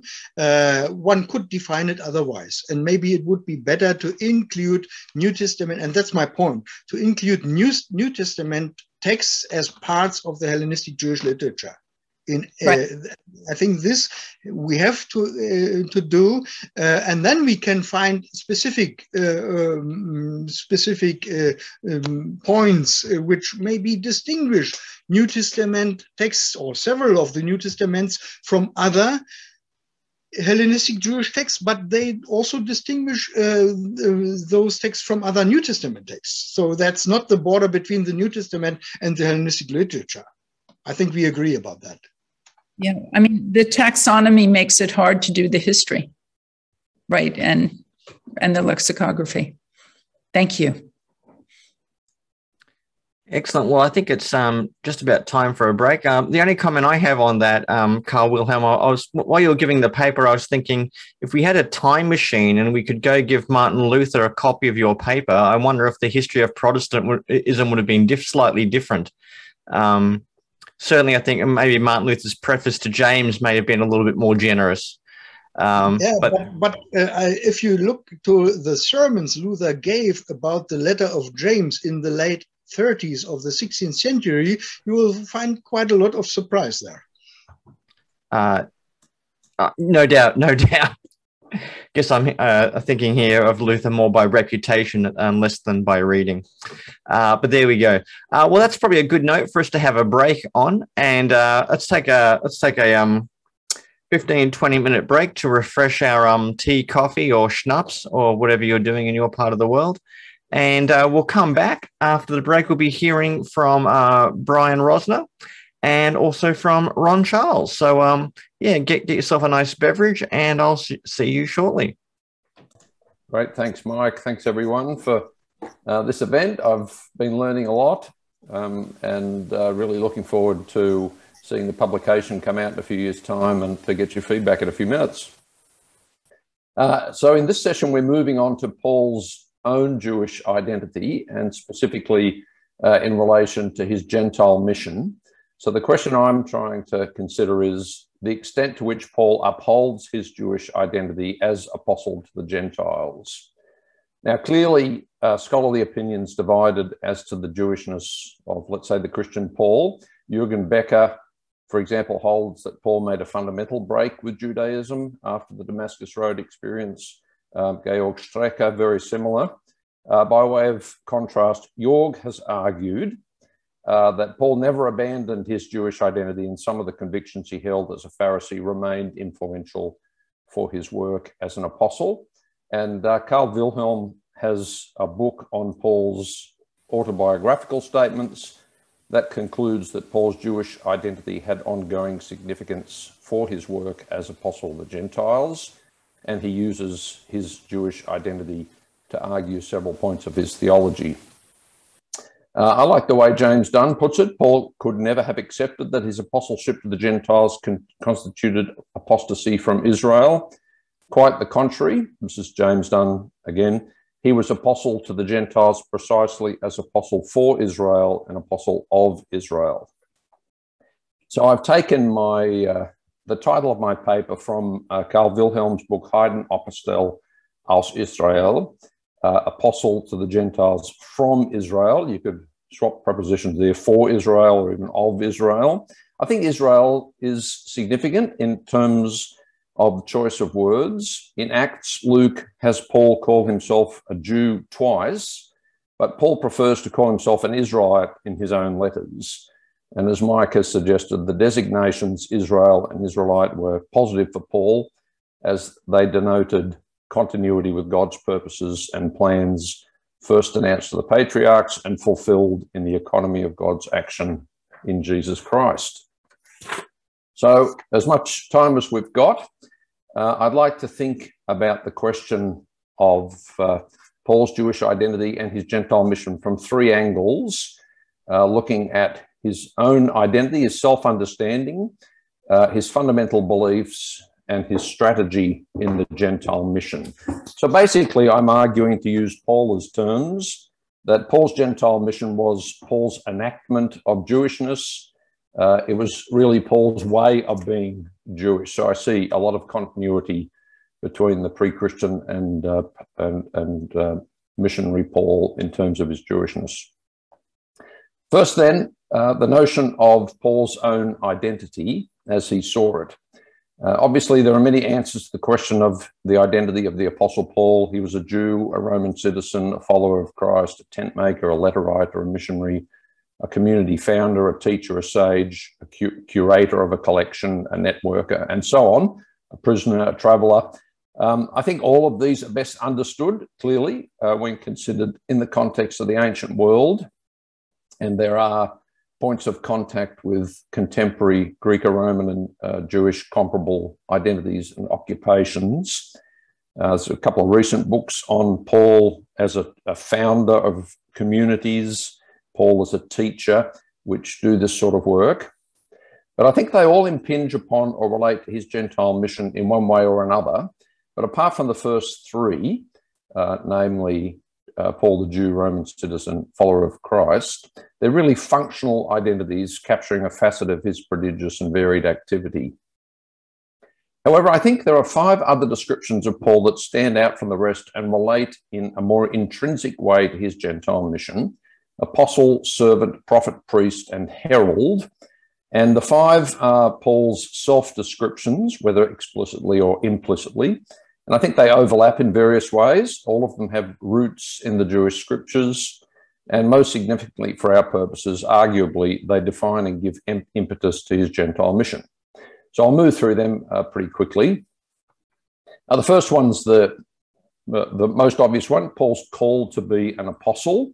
The language of calling itself uh, is significant to describe his commission uh, the Old Testament in Greek regularly uses the concept of calling to refer to a granting of a task by God. Um, Abraham to be the father of a nation, uh, Cyrus of Persia as an agent of providence, Israel as a light to the Gentiles. And I think Paul conceives of his call to apostleship as obviously granting him a specific task in terms of his Gentile mission.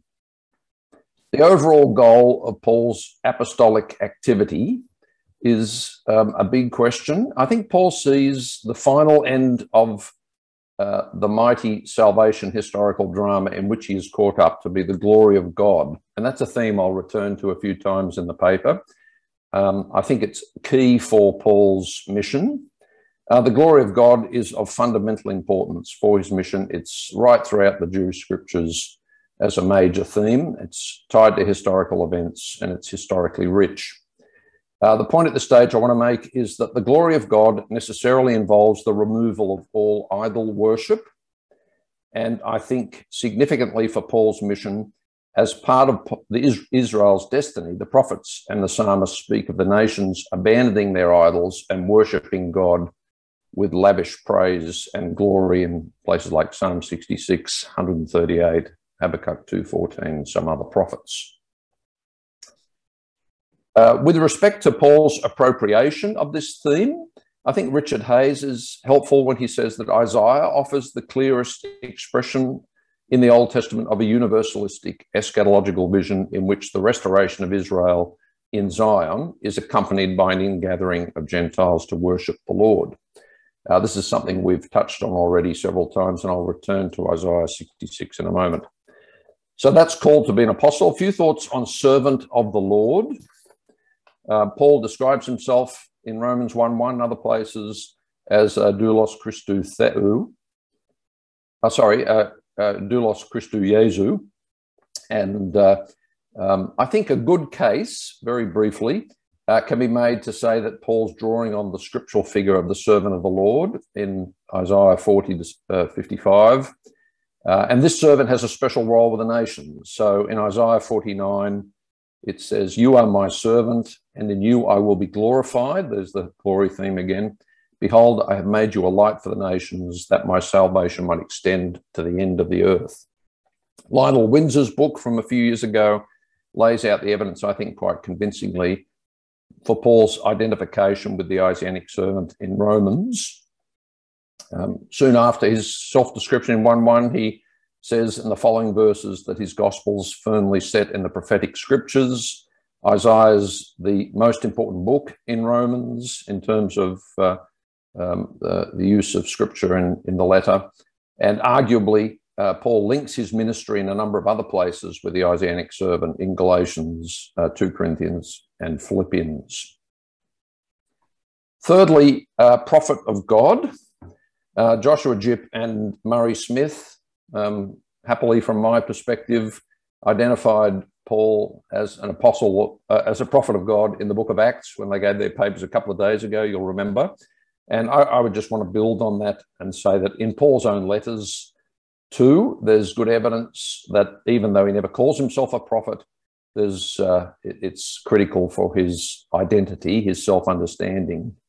Uh, Jeffrey Aernie's study of the evidence in 2 Corinthians concludes that Ezekiel's prophetic discourse provides one of the foundations on which Paul is able to develop his apostolic rhetoric and describe his, pers- his persona. Um, I've got others in the paper who've said similar things. A fourth self description I want to point out is priest, priest of God's good news. Jörg's paper the other day mentioned this in passing. And uh, Romans 15, 15 to 16 is a famous couple of verses I'm sure you're aware of, where Paul describes his priestly duty of proclaiming the gospel of God so that the Gentiles might become an offering acceptable to God, sanctified by the Spirit. So the, the verses uh, in Paul's description of his raison d'etre uh, just drip with cultic terminology. I think Malachi 1:11 is an important text here, where Paul, uh, where the prophet says that God's name will be glorified among the nations from the rising of the sun to the setting. In every place, his incense and pure offerings will be brought to my name because my name will be glorified among the nations. And that little phrase, in every place, turns up four times in the Pauline corpus in these kind of contexts to describe the uh, worldwide mission that Paul sees himself engaged in as a priest. Um, Philo's interesting here. He he has a couple of passages I've found where he talks about the priestly service for the sake of non-Jews. So in on the special laws and in uh, um, on Abraham, you've got text saying things like an offering both for the nation and also a common one for the whole race of mankind, so that the people by it will worship the living God. Now, obviously, there is a difference because for Paul, the Gentiles are the offering, uh, but in Philo, uh, the offering is being made for the Gentiles. Uh, Isaiah, coming to Isaiah 66, I'd recommend the work of James Scott and Rainer Riesner, um, both of whom connect uh, the, the uh, Paul's use of Isaiah 66 in Romans 15 in terms of the table of nations back in Genesis 10. So, um, uh, just briefly, uh, Riesner argues that Paul read this text as being fulfilled in his own activity, and traces of this exegesis stand behind Romans 15, 16 to 24. Um, so I won't say anything more there, but we've mentioned Isaiah 66 a few times already. I think it is a key text for Paul. Fifthly, Gospel Herald. I think is a neglected category of Paul's self-understanding that's quite helpful. In 1 Corinthians 1.17, Paul says that Christ sent him to preach the gospel, uh, euangelizo, and the euangel terminology is uh, at several key places in Paul's letters. Uh, in Isaiah 52, um, which Paul quotes in Romans 10:15, it says, "How beautiful on the mountains are the feet of those who bring good news," using that language in the LXX, who proclaim salvation, who say to Zion, Your God reigns. And arguably, Paul's use of euangel terminology is indebted to several passages in Isaiah, whereas John Dickson has pointed out secular messenger language is transposed to a higher eschatological level, depicting the end time herald commissioned by Israel's God to announce his salvific reign. Uh, Peter Stuhlmacher uh, some time ago made similar points where he said that Paul's gospel heralding is an eschatological, divinely commissioned activity, drawing on the background of Isaiah once again. So the eschatological heralds are less, less, uh, less well known uh, way of describing Paul's identity, but it turns out, I think, to be a key ingredient in understanding his agenda as an apostle to the Gentiles. Uh, for the sake of time, I'll move on.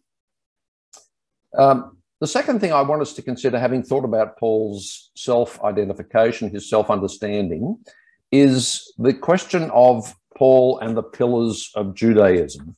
So here I'm wondering has Paul abandoned the central beliefs and symbols of Judaism? Now, Judaism, of course, uh, just speaking of Judaism with a singular raises hackles, and I could see the temperature rising around the room.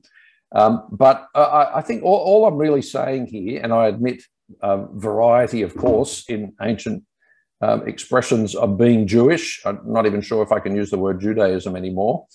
Um, is that given the richness and diversity in, of Jewish belief and practice, there were still some fundamental beliefs and symbols and practices that held uh, the ancient religion together.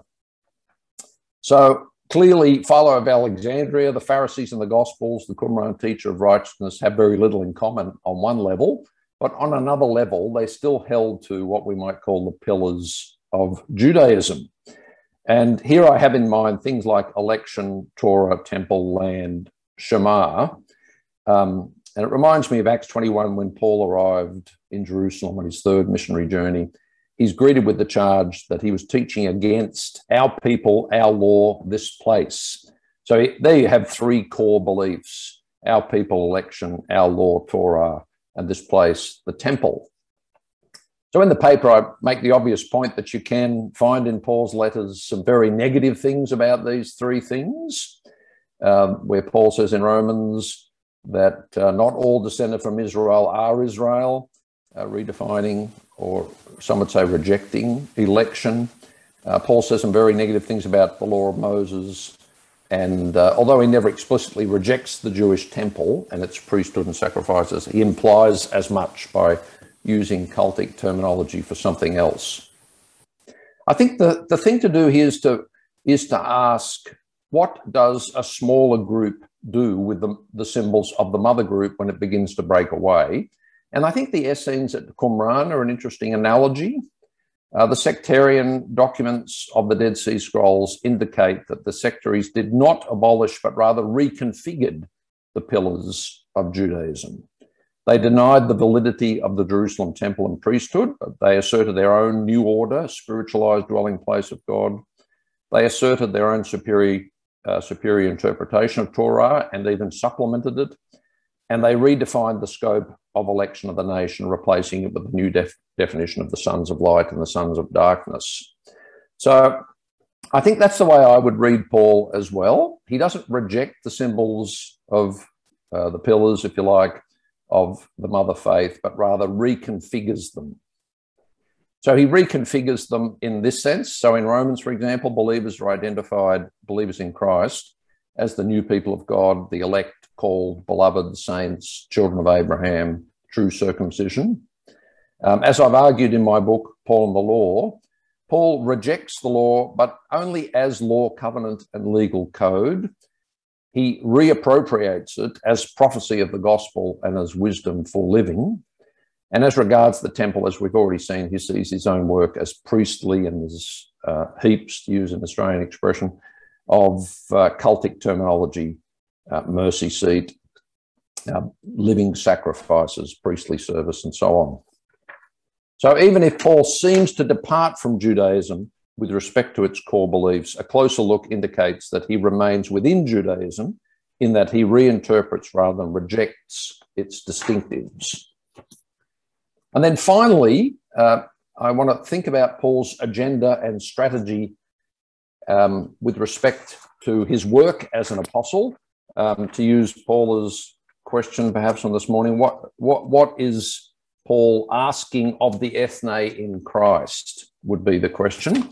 And I think here we find um, two things. The content of what he teaches Gentiles and cleaning them up, if you like, is very Jewish. And even his strategy is quite Jewish. So, content, Peter Borgen notes that the vice lists of Galatians 5 and 1 Corinthians 6, which contrast pagan and Christian lifestyles, have just two sins in common so, sexual immorality and idolatry, those two things are very important for Paul.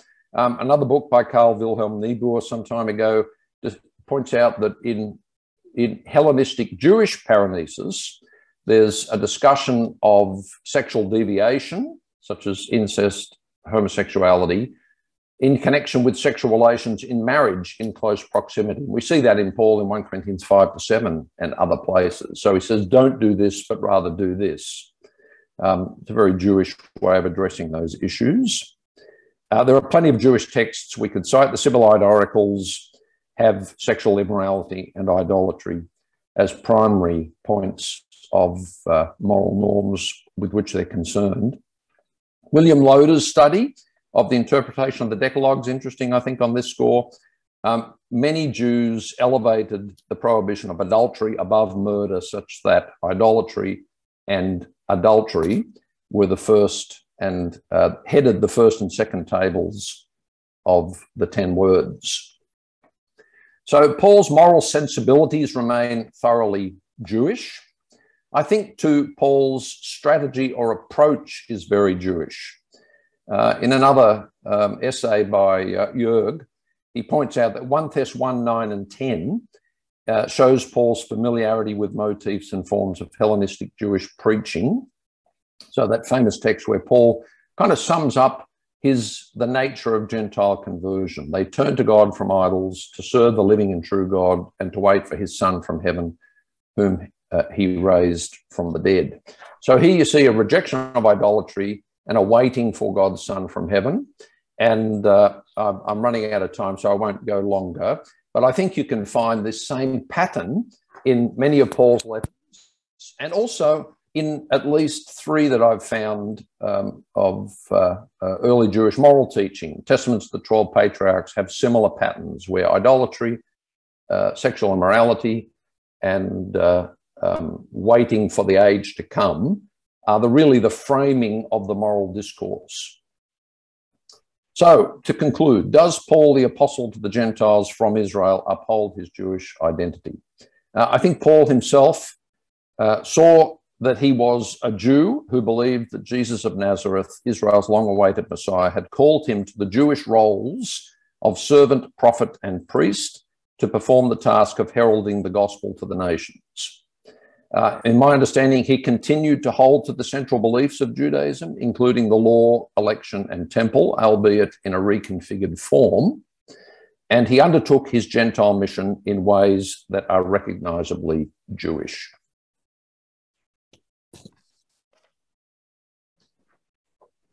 Excellent. Thank you very much, Brian. Uh, yeah, golf golfers clap for you. Not just because you're my boss, because it was a good paper. Um, yeah, well, uh, Ron, I can hand over to you, uh, uh, mate. Do you, do you have any questions or comments for Brian before we open it up wider?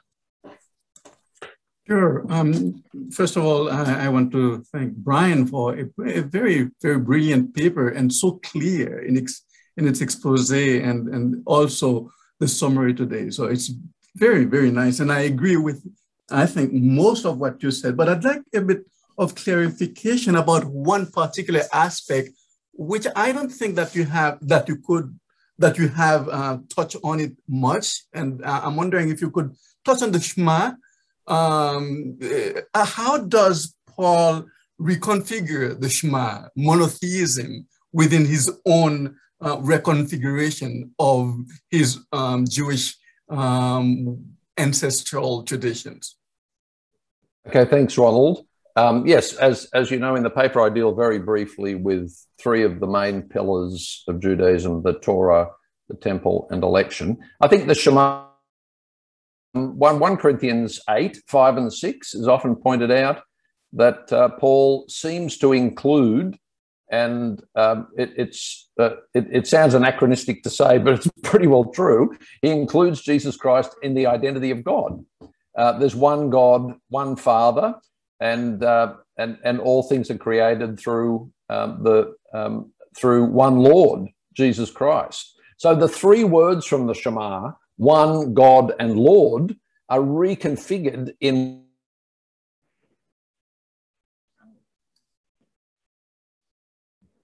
lost. Oh no. Brian, Brian, I don't know whether you can hear us, but at your most climactic point, um, you, you we lost you at your most climactic point. Actually, I think you may have gone off. I think we've like completely lost Brian. Oh, no. I don't know. Well, given what's happened in Melbourne recently, I wouldn't be surprised if he's been raptured. To be perfectly oh. honest. Mike, Mike, this is what you've been waiting for. It's stand-up comedy time until he comes back. Yeah. I know oh, you're I could, for this. You know, you know. Let me just get at my um my uh, top ten minutes on the bottom. I I bet that's Brian now. Did you make it? Did you make it back, Brian? We have to wait for his parousia. Yes, yes. I'll see if we can see him coming back on some clouds. That would be that would be even better. Can you get him on your telephone? Yeah, well, we might have we, we have to tell him we need closure. We need to know what that dramatic point was. He was about, he looked like he was about to say something very important. Yes, and then he was elevated at that point. Yeah, yeah. in a platonic way. Yes. So, Everything must be right. Absolutely. well, certain things are meant, meant to stay a mystery. So I'm sure he's I'm sure he's trying to get back in. Um, might I might text him.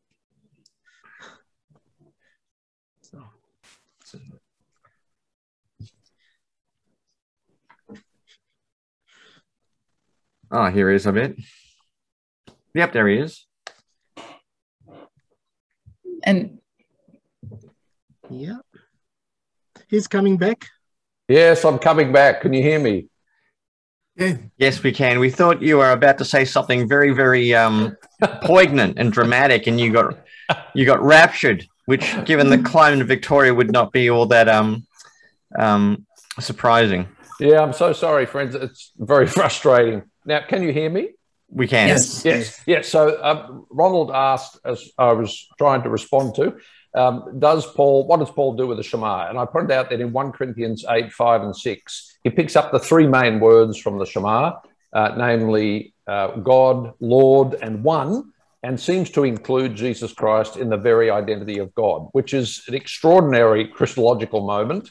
Um, but, but I do think there is evidence that even the Shema, which at face value might seem to put Paul outside Judaism, is reconfigured within Paul's understanding of, of the Christ movement.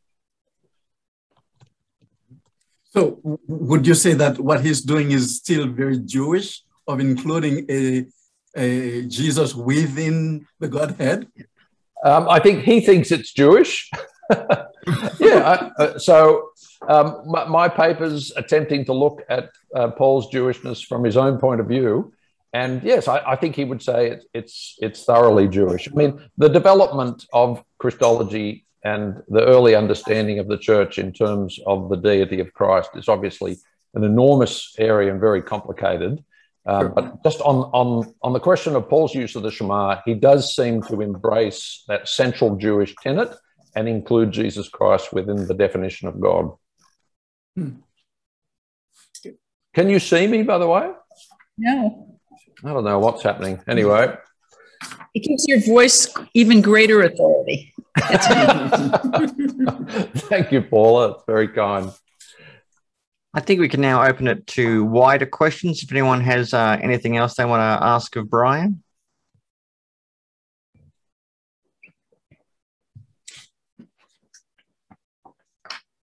Yep, go ahead, Paula. Um, thank you, um, Brian. On your uh, issue of uh, Paul as as a prophet, um, he also makes prophets of his ethne, right? Prophecy is one of the things that their um, the Spirit enables them to do. Yes.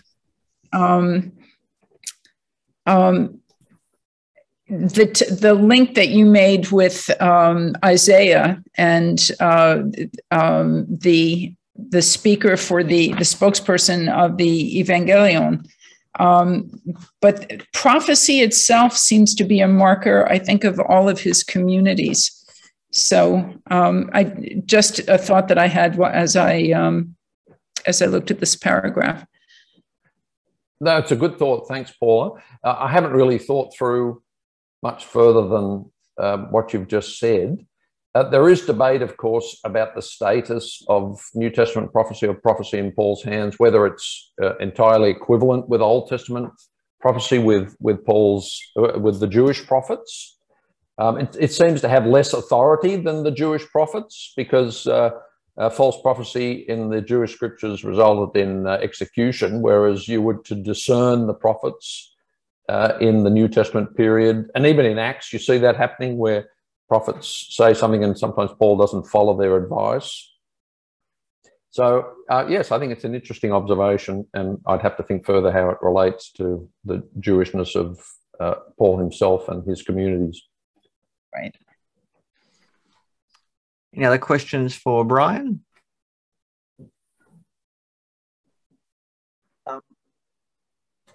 Go, yeah, ahead, Michael. I just in, in, light of this paper and other papers, I wonder if um, the category of family of Abraham might be kind of useful over instead of thinking Paul reconfiguring Israel to include Gentiles to say uh, Jews or Israel and Gentiles retain their ethnic distinction while um, being part of this larger overarching category, which is also ethnic. So we don't fall into the new perspective, universalism versus ethnocentrism dichotomy that Paul's think, still thinking of a group, but the group is that family of Abraham that incorporate, well, Jews as the natural heirs and Gentiles in Christ through pneuma being adopted into that. That that might be the best category to work with in terms of the group he's think, imagining. Yeah, the, the status of the Christ believers vis-a-vis Israel seems to be a continuing theme throughout our conference. And what you've just described makes sense in Romans 9 to 11. Uh, but I still come back to one, a passage like 1 Corinthians 10, which seems to distinguish what Paul calls the church of God from both Jews and Gentiles. So, um, yeah, I'm still a work in progress on thinking through some of those issues. Any other questions? Um, could I say something about sexual profligacy, please? Go ahead, um, Paula. Um, that uh, I'm thinking of Je- uh, Jennifer Knust's book, Abandoned to Lust. And I'm also thinking of uh, Ben Isaac's uh, big book on the invention of racism in uh, classical antiquity. Um, accusations of interethnic accusations of um, sexual profligacy is, is common coin. Um, and what makes it specifically um, so that is that's what you say when you don't like a certain people. They sleep with their mothers, or you they are also you know they eat people. That's not nice either, and uh, sorts of stuff. I think what's specifically um, idiosyncratically Jewish, as you as you bring out, is not the rant against sexual profligacy, because everybody's saying that about everybody else, um, which makes some of these texts more fun to read. Uh, but it's the it's the idol worship that is um, idiosyncratically Jewish.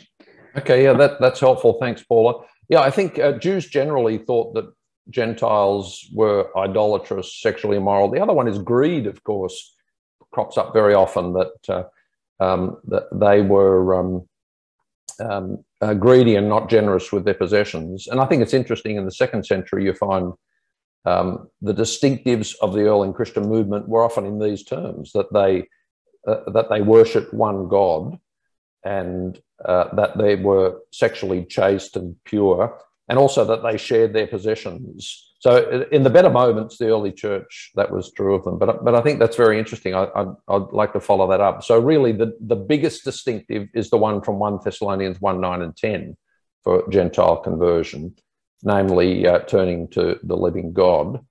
And uh, perhaps the accusations of porneia and like and the like um, are less of a distinctive. I have to think that through. So thank you for the thoughts and the uh, recommendations for reading. Think Josh Jipp has a question. Yeah, I have a question. I'll also just say that Michael's question and comment is one that I'm also res- wrestling with. Uh, so if we get a chance at some point uh, and further discussion later on, that's um, I, I, thought was a relevant and helpful question. But my my question for Brian, on page nine, you say, um, "Did Paul teach against the pillars of Judaism?" The charge seems to stick. And uh, one of the examples you give is that Paul never explicitly rejects the Jewish temple the priesthood, the sacrifices, but you say that he implies as much in his use of cultic cultic imagery to refer to something else. I have a few different there, there's a few different questions that raises for me. One is um, does is, is the Luke and Paul sort of wrong then in Acts 20, 21 and following, or is Luke's presentation of him uh, wrong? Um, or is it possible that by devout, is it possible that Paul still did his Nazaritic vow? He still, you know, could claim authentically to be faithful to the ancestral customs, his ancestral customs, but he um, uh, believed that the pneuma created sort of this holiness and cult, you know uh, in in a way that went beyond that. That, as you say, it implied its deval- devaluation. So that's that, that's uh, you know I'm wrestling to make sense with sort of the representation of what you say about Paul and the Luke and Paul, and whether sometimes it's not as simple as a matter of was he obedient, disobedient, did he believe it, not believe it but there are matter are there matters of importance in terms of how he uh, worked that out. So I hope that hope that question makes sense, Brian. Well, it's more of uh, food for thought than a question, I guess. Um, I, I, think, um, yeah, I, I, think it reminds me of 1 Corinthians 9, which we had the other day, of course, uh, 19 to 23, where uh, whether we're talking about Paul's adaptability in certain contexts and I do think Paul has a different approach to obedience to the law for um, uh, believers in Christ from a Jewish background than than others. Um, yeah, I, I, mean, I don't have a lot more to say, and, and thanks for your comments, and I'll I'll try and take them on board and think them through.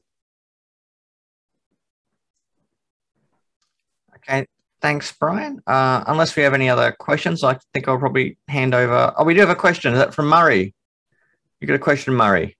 Yeah, thank, thanks. I'm, I'm, clapping as well, but I really did want to ask a question, uh, which is just about the around the language of reconfiguring Judaism. I think I used it myself in, in my paper, but I'm still struggling to find the right uh, word for this because I think if you ask Paul, he would say he's not reconfiguring anything. Uh, he's he's just announcing that what God promised beforehand has, has taken place.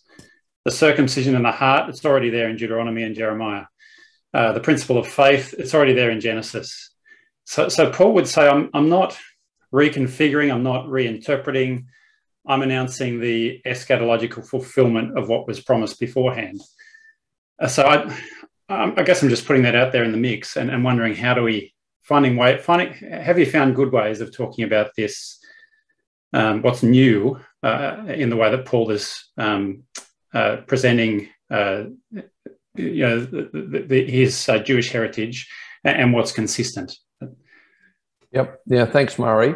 Um, it, it, it, I think you're right. Reconfiguring is something Paul probably wouldn't have accepted as a description of what he's doing. I think the language of newness is quite helpful. So, new creation, um, uh, uh, the uh, the new covenant. So so there is something that is discontinuous with what Paul believed and understood as um, before Damascus Road. So that we've got to have find some way of describing those changes that are consistent with his own language, um, and and probably reconfiguring is, is more an imposition and uh, in the end, it might be unhelpful. Paul was going to say something, I think. I just, just, just very quickly, the, the point about temple, he wouldn't be using temple language unless he thought the temple were important. Mm. Right. So saying that the ecclesia is so spirit filled that it's also a temple. It doesn't have to be um, a zero sum game. Yep. Uh, I mean, I, I, agree with that for most of Paul's letters, but very occasionally, 1 Corinthians 3 16, 620, he, he does say that you are the temple.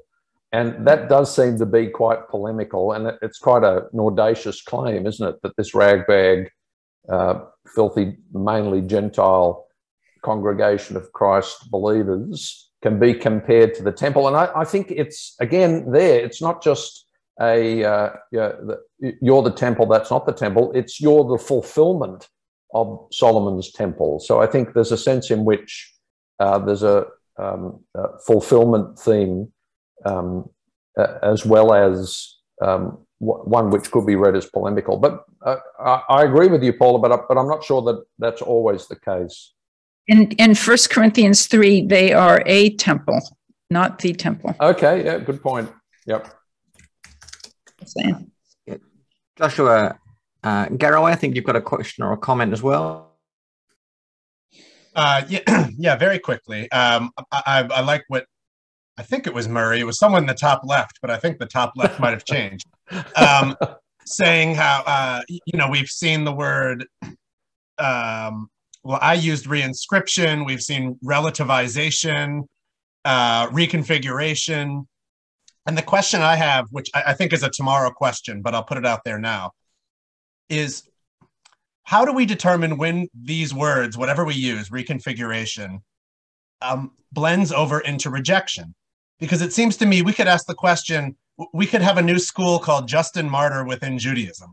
Well, you know, he reconfigures Torah, he reconfigures covenant, he reconfigures election, he reconfigures temple, he reconfigures Israelite identity. And yet that doesn't seem to make any sense to us. I mean, we could Augustine within Judaism. Um, and yet, for some reason, Paul within Judaism is a thing, even though I'm not sure what he's ultimately doing is that much different from what some of these later figures are doing. So I would like a, a bigger, broader discussion about the relationship between reconfiguration and rejection. Uh, uh, yeah. Yep. Just throwing in, just to confuse things further, uh, in my book on Paul and the law, I argue that Paul rejects the law, he replaces the law, and then he reappropriates the law. So it, uh, that is the challenge, and I think uh, I've always wondered if we should just think of Christianity within Judaism, and once you do that, then a lot of these problems are solved. But if you're mm. always anything you're talking about related to Christianity is within some larger umbrella of Judaism, then maybe the question of Paul within Judaism no longer becomes all that salutary. And, and this may touch on uh, the discussion of the families of Abraham which other people have have expressed interest in. So uh, that'll wait till tomorrow, I assume. Thanks. Indeed. Well, well, thank you very much for that, Brian. Uh, that was that was great. Uh, next, I'll hand over to uh, Ron and uh, his presentation. So uh, you have the floor, Ron. Hey, thank you. So um, the question I'm interested in is what did Paul think he was doing? And when we look at Paul, we are looking at a particular scholarly construction, and we are also looking at a particular scripturalized construction. We're looking at a particular argument, we're looking at a particular way that Paul is presenting himself. And I think that um, some of you in your own papers, you, you, you, you mentioned that, that, you know, Paul, he is within a particular argumentative mode. So, and, and I think that's important. And I also think that we need to think about um, some of the terms that we use, we scholars, we use them for our own way of analyzing them um, or making a particular argument ourselves. Um, so I think that, that that's important uh, to, to, to, to point out.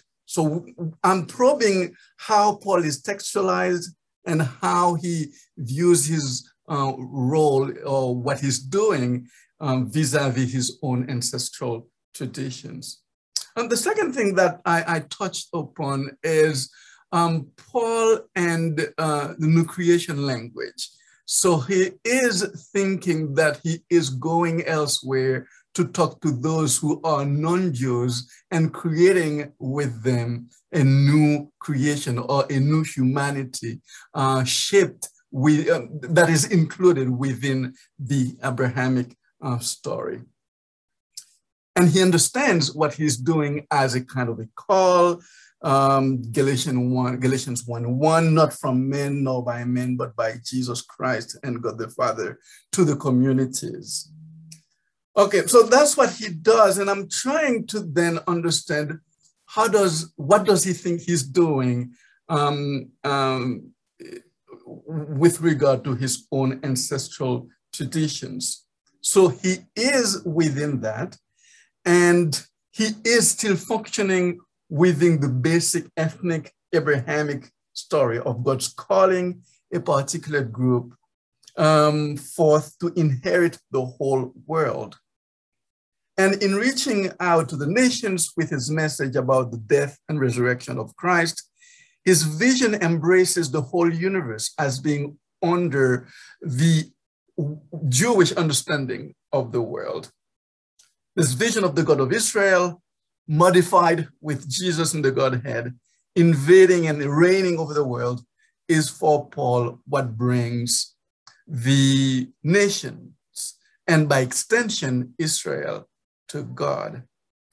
So for Paul now is the urgent time to help God keep God's promises to Israel. And his mission to the nations is the way to achieve that very goal. So, and he does not think that we can divorce the Gentiles' future from the Jewish uh, future. So they are linked. And we see that also in, in, in Romans, what he's doing in Romans, especially Romans 9 to 11. Um, so Paul thinks that he had to go to the nations, to the people of, uh, who are not within that particular Abrahamic uh, narrative, in order to secure peace and stability among the nations for the nation's own good and in that way to provoke Israel to jealousy in order for Israel to turn back to God. This ideology dreams of rescuing the nations, which are, one recalls, identified by Paul and his kinsmen as sinful sinners, less pure, less self controlled than the Jews, and of enticing them to forge a commitment with the God of Israel via faith in the resurrected Christ. So, what I tried to do then is to place uh, this kind of, of, of, movement of Paul going to the nations within uh, the, the Roman imperial order and see what Paul is doing here and see, uh, look at some of the complexities of what he's engaging in. So, um, so this is the first half. And, and, and, and, and, and then here, Paul, he imagines himself as being a called one, as being one going to the nations and to preach about a life, death, and resurrection of a Jewish uh, person to those who are under um, the Roman imperial power. So he imagines himself um, presenting a, a, this kind of Christological monotheism, and we can say more about that. And we cannot, of course, understanding what he's doing without examining his Jewish roots and how these um, how does not only influence, but inform his own theologizing exercises. He uses strategies readily available in his intellectual collection to make his presentation of Christ. All that is of interest to him is to present Israel God to the nations via Christ as the supreme God while castigating the gods of the nations as subordinates or subservient to the Jewish God. One needs to place Paul within his Jewish milieu and highlight his activities and letters in the context of one who lived his life in proximity to fellow Jews, to the God of, God of Israel, to the gods of the ethne, and one who negotiated the social realities of the larger Greco-Roman world. So the next point is about Paul's politic of identity. And here, this is where I mentioned um, the creation in Paul's understanding of new creation communities, where there is no longer Jew or Greek, slave or free, male and female under Christ, Galatians 3, 28. Paul uses his mission to the Gentiles as a way to provoke to jealousy his fellow um, um, compatriots, and as a way also to ingather the nations into Israel's fold. The genealogical construct that places Abraham as the father of all the nations aim to set the nations as belonging strangely not to the Roman Empire, but to Israel, and to Israel's narrative.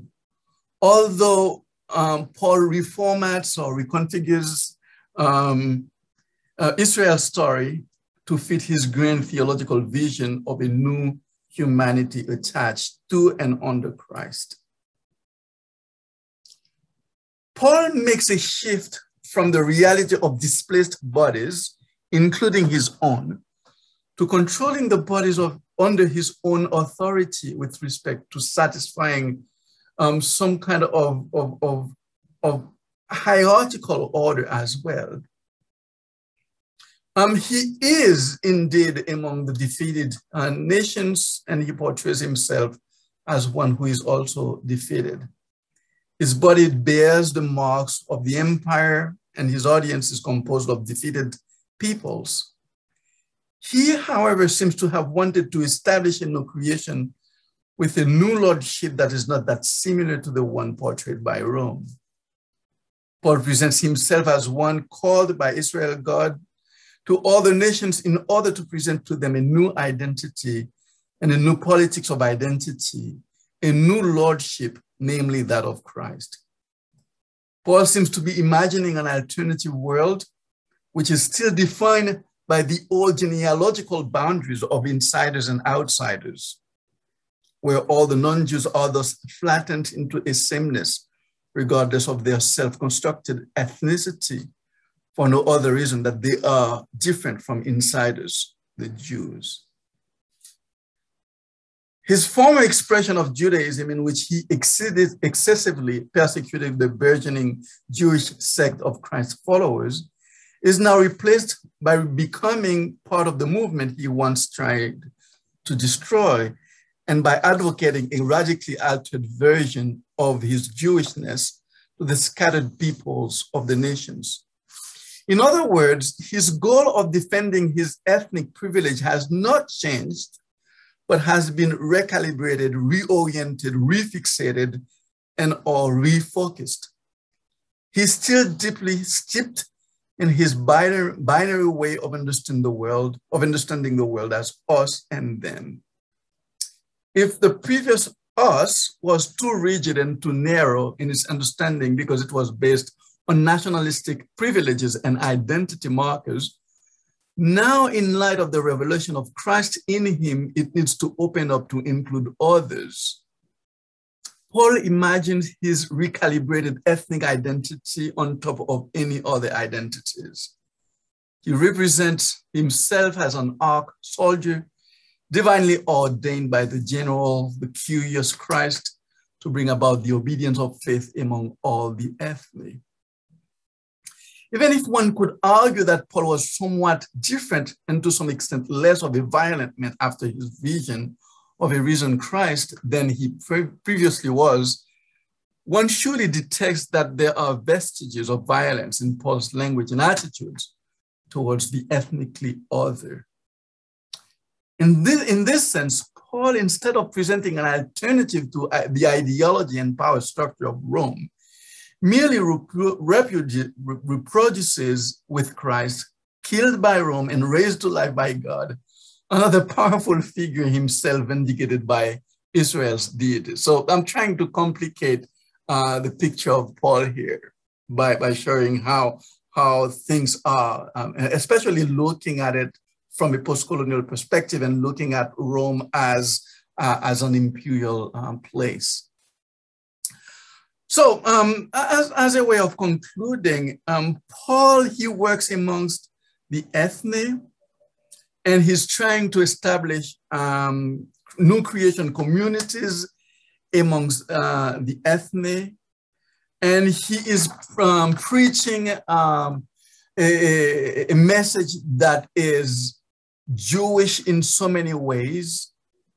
And he is one that is trying to form these communities, but he's doing all of that in order to um, to push his own people to accept um, uh, their how could I put it uh, in, in, a clear way that he's he's to, to, to provoke uh, Israel to jealousy.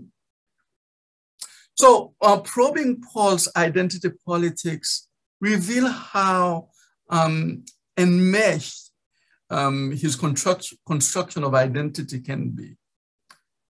Um, reading this way, of course, is a challenge that complicates greatly the power dynamics in Paul's letters in a way that could help to problematize the text as it also nuances our understanding of Paul among the nations. And here, anyone trying to understand Paul and trying to understand what did he think he was doing needs to understand that he lived in urgency, that he contemplated an imminent eschatology, his engagement with Judaism, with the Torah, circumcision, and other aspects of his ancestral traditions are key to make sense of what he may have thought he was doing. I hope I have given a brief, very brief sense of how Paul lived his life entirely within his native Judaism, although an existing recalibrated around Christ, while pointing out that his identity cannot be divorced from his apostolic mission as an apostle to the ethne. Okay, thank you. Thank you very much for that, Ron. That was great. Uh, Ron, what was that string of phrases? You had like a string of about three R words. I think you had like reappropriated, retooled, re- revised. Oh, yes. Uh, that, that, that, that was recalibrated, reoriented, refixated, refocused. yeah, okay. I think that was um that kind of dovetails a little bit with what Brian was doing in his recalibration. That kind of yeah, my, my ears picked up. That's that's that's a that's a good alliteration you've got going on there. Um, but anyway, Brian, I'll, I'll hand hand back to you if you have any uh, questions or comments on Ron's paper. Yep. Yeah. Thanks, Mike. Thanks so much, Ronald. Um, yeah, I, li- I, like the paper. It's uh, it's a fresh presentation on the the simple question: What did Paul think he was doing? Which is really uh, the focus of our conference. I think the language of newness, as I mentioned a few moments ago, is quite helpful. And I think one of the dangers uh, with the Paul within Judaism movement and what we're learning from it and so on is um, downplaying the discontinuity uh, with Judaism. So Paul does think in terms of newness of life, Romans 6 4, new covenant, 1 and 2 Corinthians, both places, new humanity you get in Ephesians, um, serving God in a new way of the Spirit, Romans 7. So there is a newness that I think, and I think you're right to point to new creation as a key concept for understanding Paul. And I agree with Mike, it's great to see so many more rewords. Recalibrated was my favorite, just out of interest. I, I have just one question at this stage. So I think you helpfully try and situate Paul's mission within the uh, Roman world. And uh, um, at, on page five, though, you say Paul does not present an alternative to the ideology and power structure of Rome. Yeah. And at another point, you say that Paul was attempting to create countercultural values, subversive ones within alternative communities. And I just wonder whether the, the, the, previous statement that Paul does not present an alternative to the ideology and power structure of Rome is accurate. I, I would put it, I, I, would just say the opposite. I, I would say Paul. Yeah, yeah. no, I think you're right. Um, but yeah. yeah. I think you're right. I need to uh, rephrase that. Um, but but what I what what I had in mind was that you have um, Paul is he's, he is presenting Christ as a new kind of of of, of, of big figure, right? But he's still within that presentation of big figure.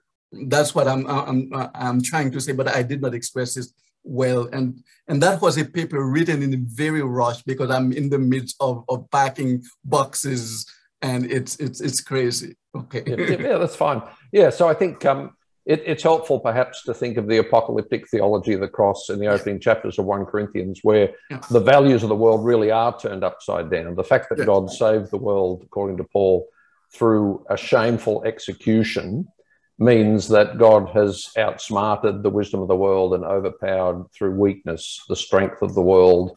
And then the social implications of that way in which he saved the world are played out right throughout the letter in terms of uh, um, just to use a modern term, inclusion, uh, because mm. God chose the weak and, and humility and uh, all, all, that kind of stuff. The, the whole business of love comes from Paul's understanding of the apocalyptic theology of the cross, I think. So, yeah, so that, that was my main quibble. Thank and you. it's nice to hear that you, you've uh, seen that as something that could be clarified and developed further. Definitely. So, thank you very much.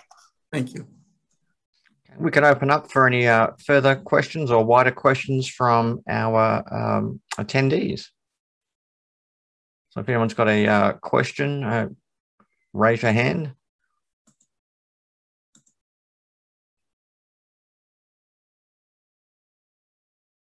I say, yeah, Yoga, if you got a, a, you can feel free to chime in with your question, Yoga. Uh, yes, uh, Ron, thank you for your very interesting perspectives. Um, when you when you address that, um, well, power play, uh, power and weakness, um, or uh, representing power and representing weakness at the same point. Isn't that in, in some way also in, in Paul's uh, view a kind of imitation of of what is in Christ. So in uh, in in the image of Christ, of course, we have that uh, the crucified one and the one who is uh, enthroned. So this uh, double situation, of course, we would we would imagine we would like perhaps uh, he he might take a, a more precise and more um, definite stance uh, on one side, um, but that's that's the the uh, diver the the ambiguity or the the paradoxy uh, which is uh, set with with Christ and with the image of Christ uh, in general. What do what do you think? Yeah, thank you so much. Um, so when you when you read, for example, the literature in postcolonial studies, you you learn of the ambiguity. You learn of imitation, not imitation in language, imitation of acts. That is, when you have one who is a subaltern, there is a kind of wanting to get rid of a, a, particular power, but by but using also some of the language or, or some of the tools of the power to dismantle the power. But but but but what when you do that, and I remember reading Professor Averil Cameron, um, a, a, book she wrote in the 1990s. Um, it's the rhetoric of empire. When you use the rhetoric of the rhetoric of empire, what happens is that what you are saying enters into a particular mode of empire as well. And, and, and then you tend yourself to become um, what you are rejecting. So Paul, he is using some of the language of, of, of, empire. And there is and there is the, the power play, there is the power dynamic, uh, and, and, and, and, sometimes you feel that Paul is talking, as you said, both language of weakness and of strength, of authority and also of, of humility, of being against, but also somewhat pro. So this is this ambiguity, this is this a complexity of language that I wanted to, to, to explore and to tease out and, and to help us understand that when Paul goes to the to the nations, he goes within a particular social and political realities. And he is using language and is using ways um, as he goes to them, he's using, of course, his own um, his own culture, his own uh, Abrahamic narrative, but he's also within a larger political structure that we need to pay attention to.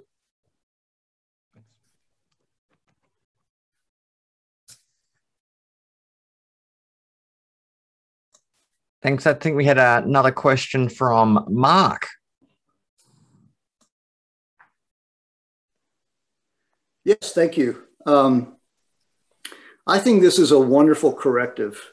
And I think we almost need to hear it like every time we do anything. Um, it, it, it's just it's just a truth. And uh, it's true about Judaism, it's true about Christianity, it's true about Islam, it's true about Buddhism, it's true about Americans, it's true about Koreans. Uh, I don't care who you talk about. Um, we we uh, we might idealize right uh, weakness and humility, but in fact, if, especially if we're we're given the charge of a group of people, Uh, we make the same mistakes everyone else makes. Uh, that's the dynamics of power. And I, so I really, really appreciate it. One of the things I think that is interesting about it, I wanted to bring up to see what you thought is when we talk about Paul within Judaism, practice, you know, if he's carrying out uh, and thinking as a Jewish figure, he's actually nested in a, uh, a, a subcolonial he, he's the colonized as a Jew uh, uh, uh, and, and, Judaism in the Roman world. And um, like the prophets, but also I think others of his time are, uh, you know, I'm thinking of um, what's the book? Uh, uh, oh, I forget the name, but um, Goodman wrote a long time ago about the Judean Judeans. Um, most Jews and Judeans are probably pretty unhappy with Jewish leadership to the degree that it's complicit with the Romans. The interesting thing about Paul is that he is into this minority groups in the diaspora, minority communities, let's say, let's say there's 100 Jews, 10,000 non-Jews, and now he starts a group with like 10, of which seven are from the majority 10,000 culture. And they're nested now in a subgroup identity as the support as the outsiders suddenly in the Jewish group. And that's part of what his letters, I think, are about is how do they f- fit in? Because, I mean, they were the majority, they were the, the big guys. Now they're suddenly uh, the little guys. I've actually found Messianic, studying Messianic Judaism, modern Messianic Judaism, kind of interesting in the same way because these Gentile Christians come in and they got Jewish leaders and Jewish stuff they don't know.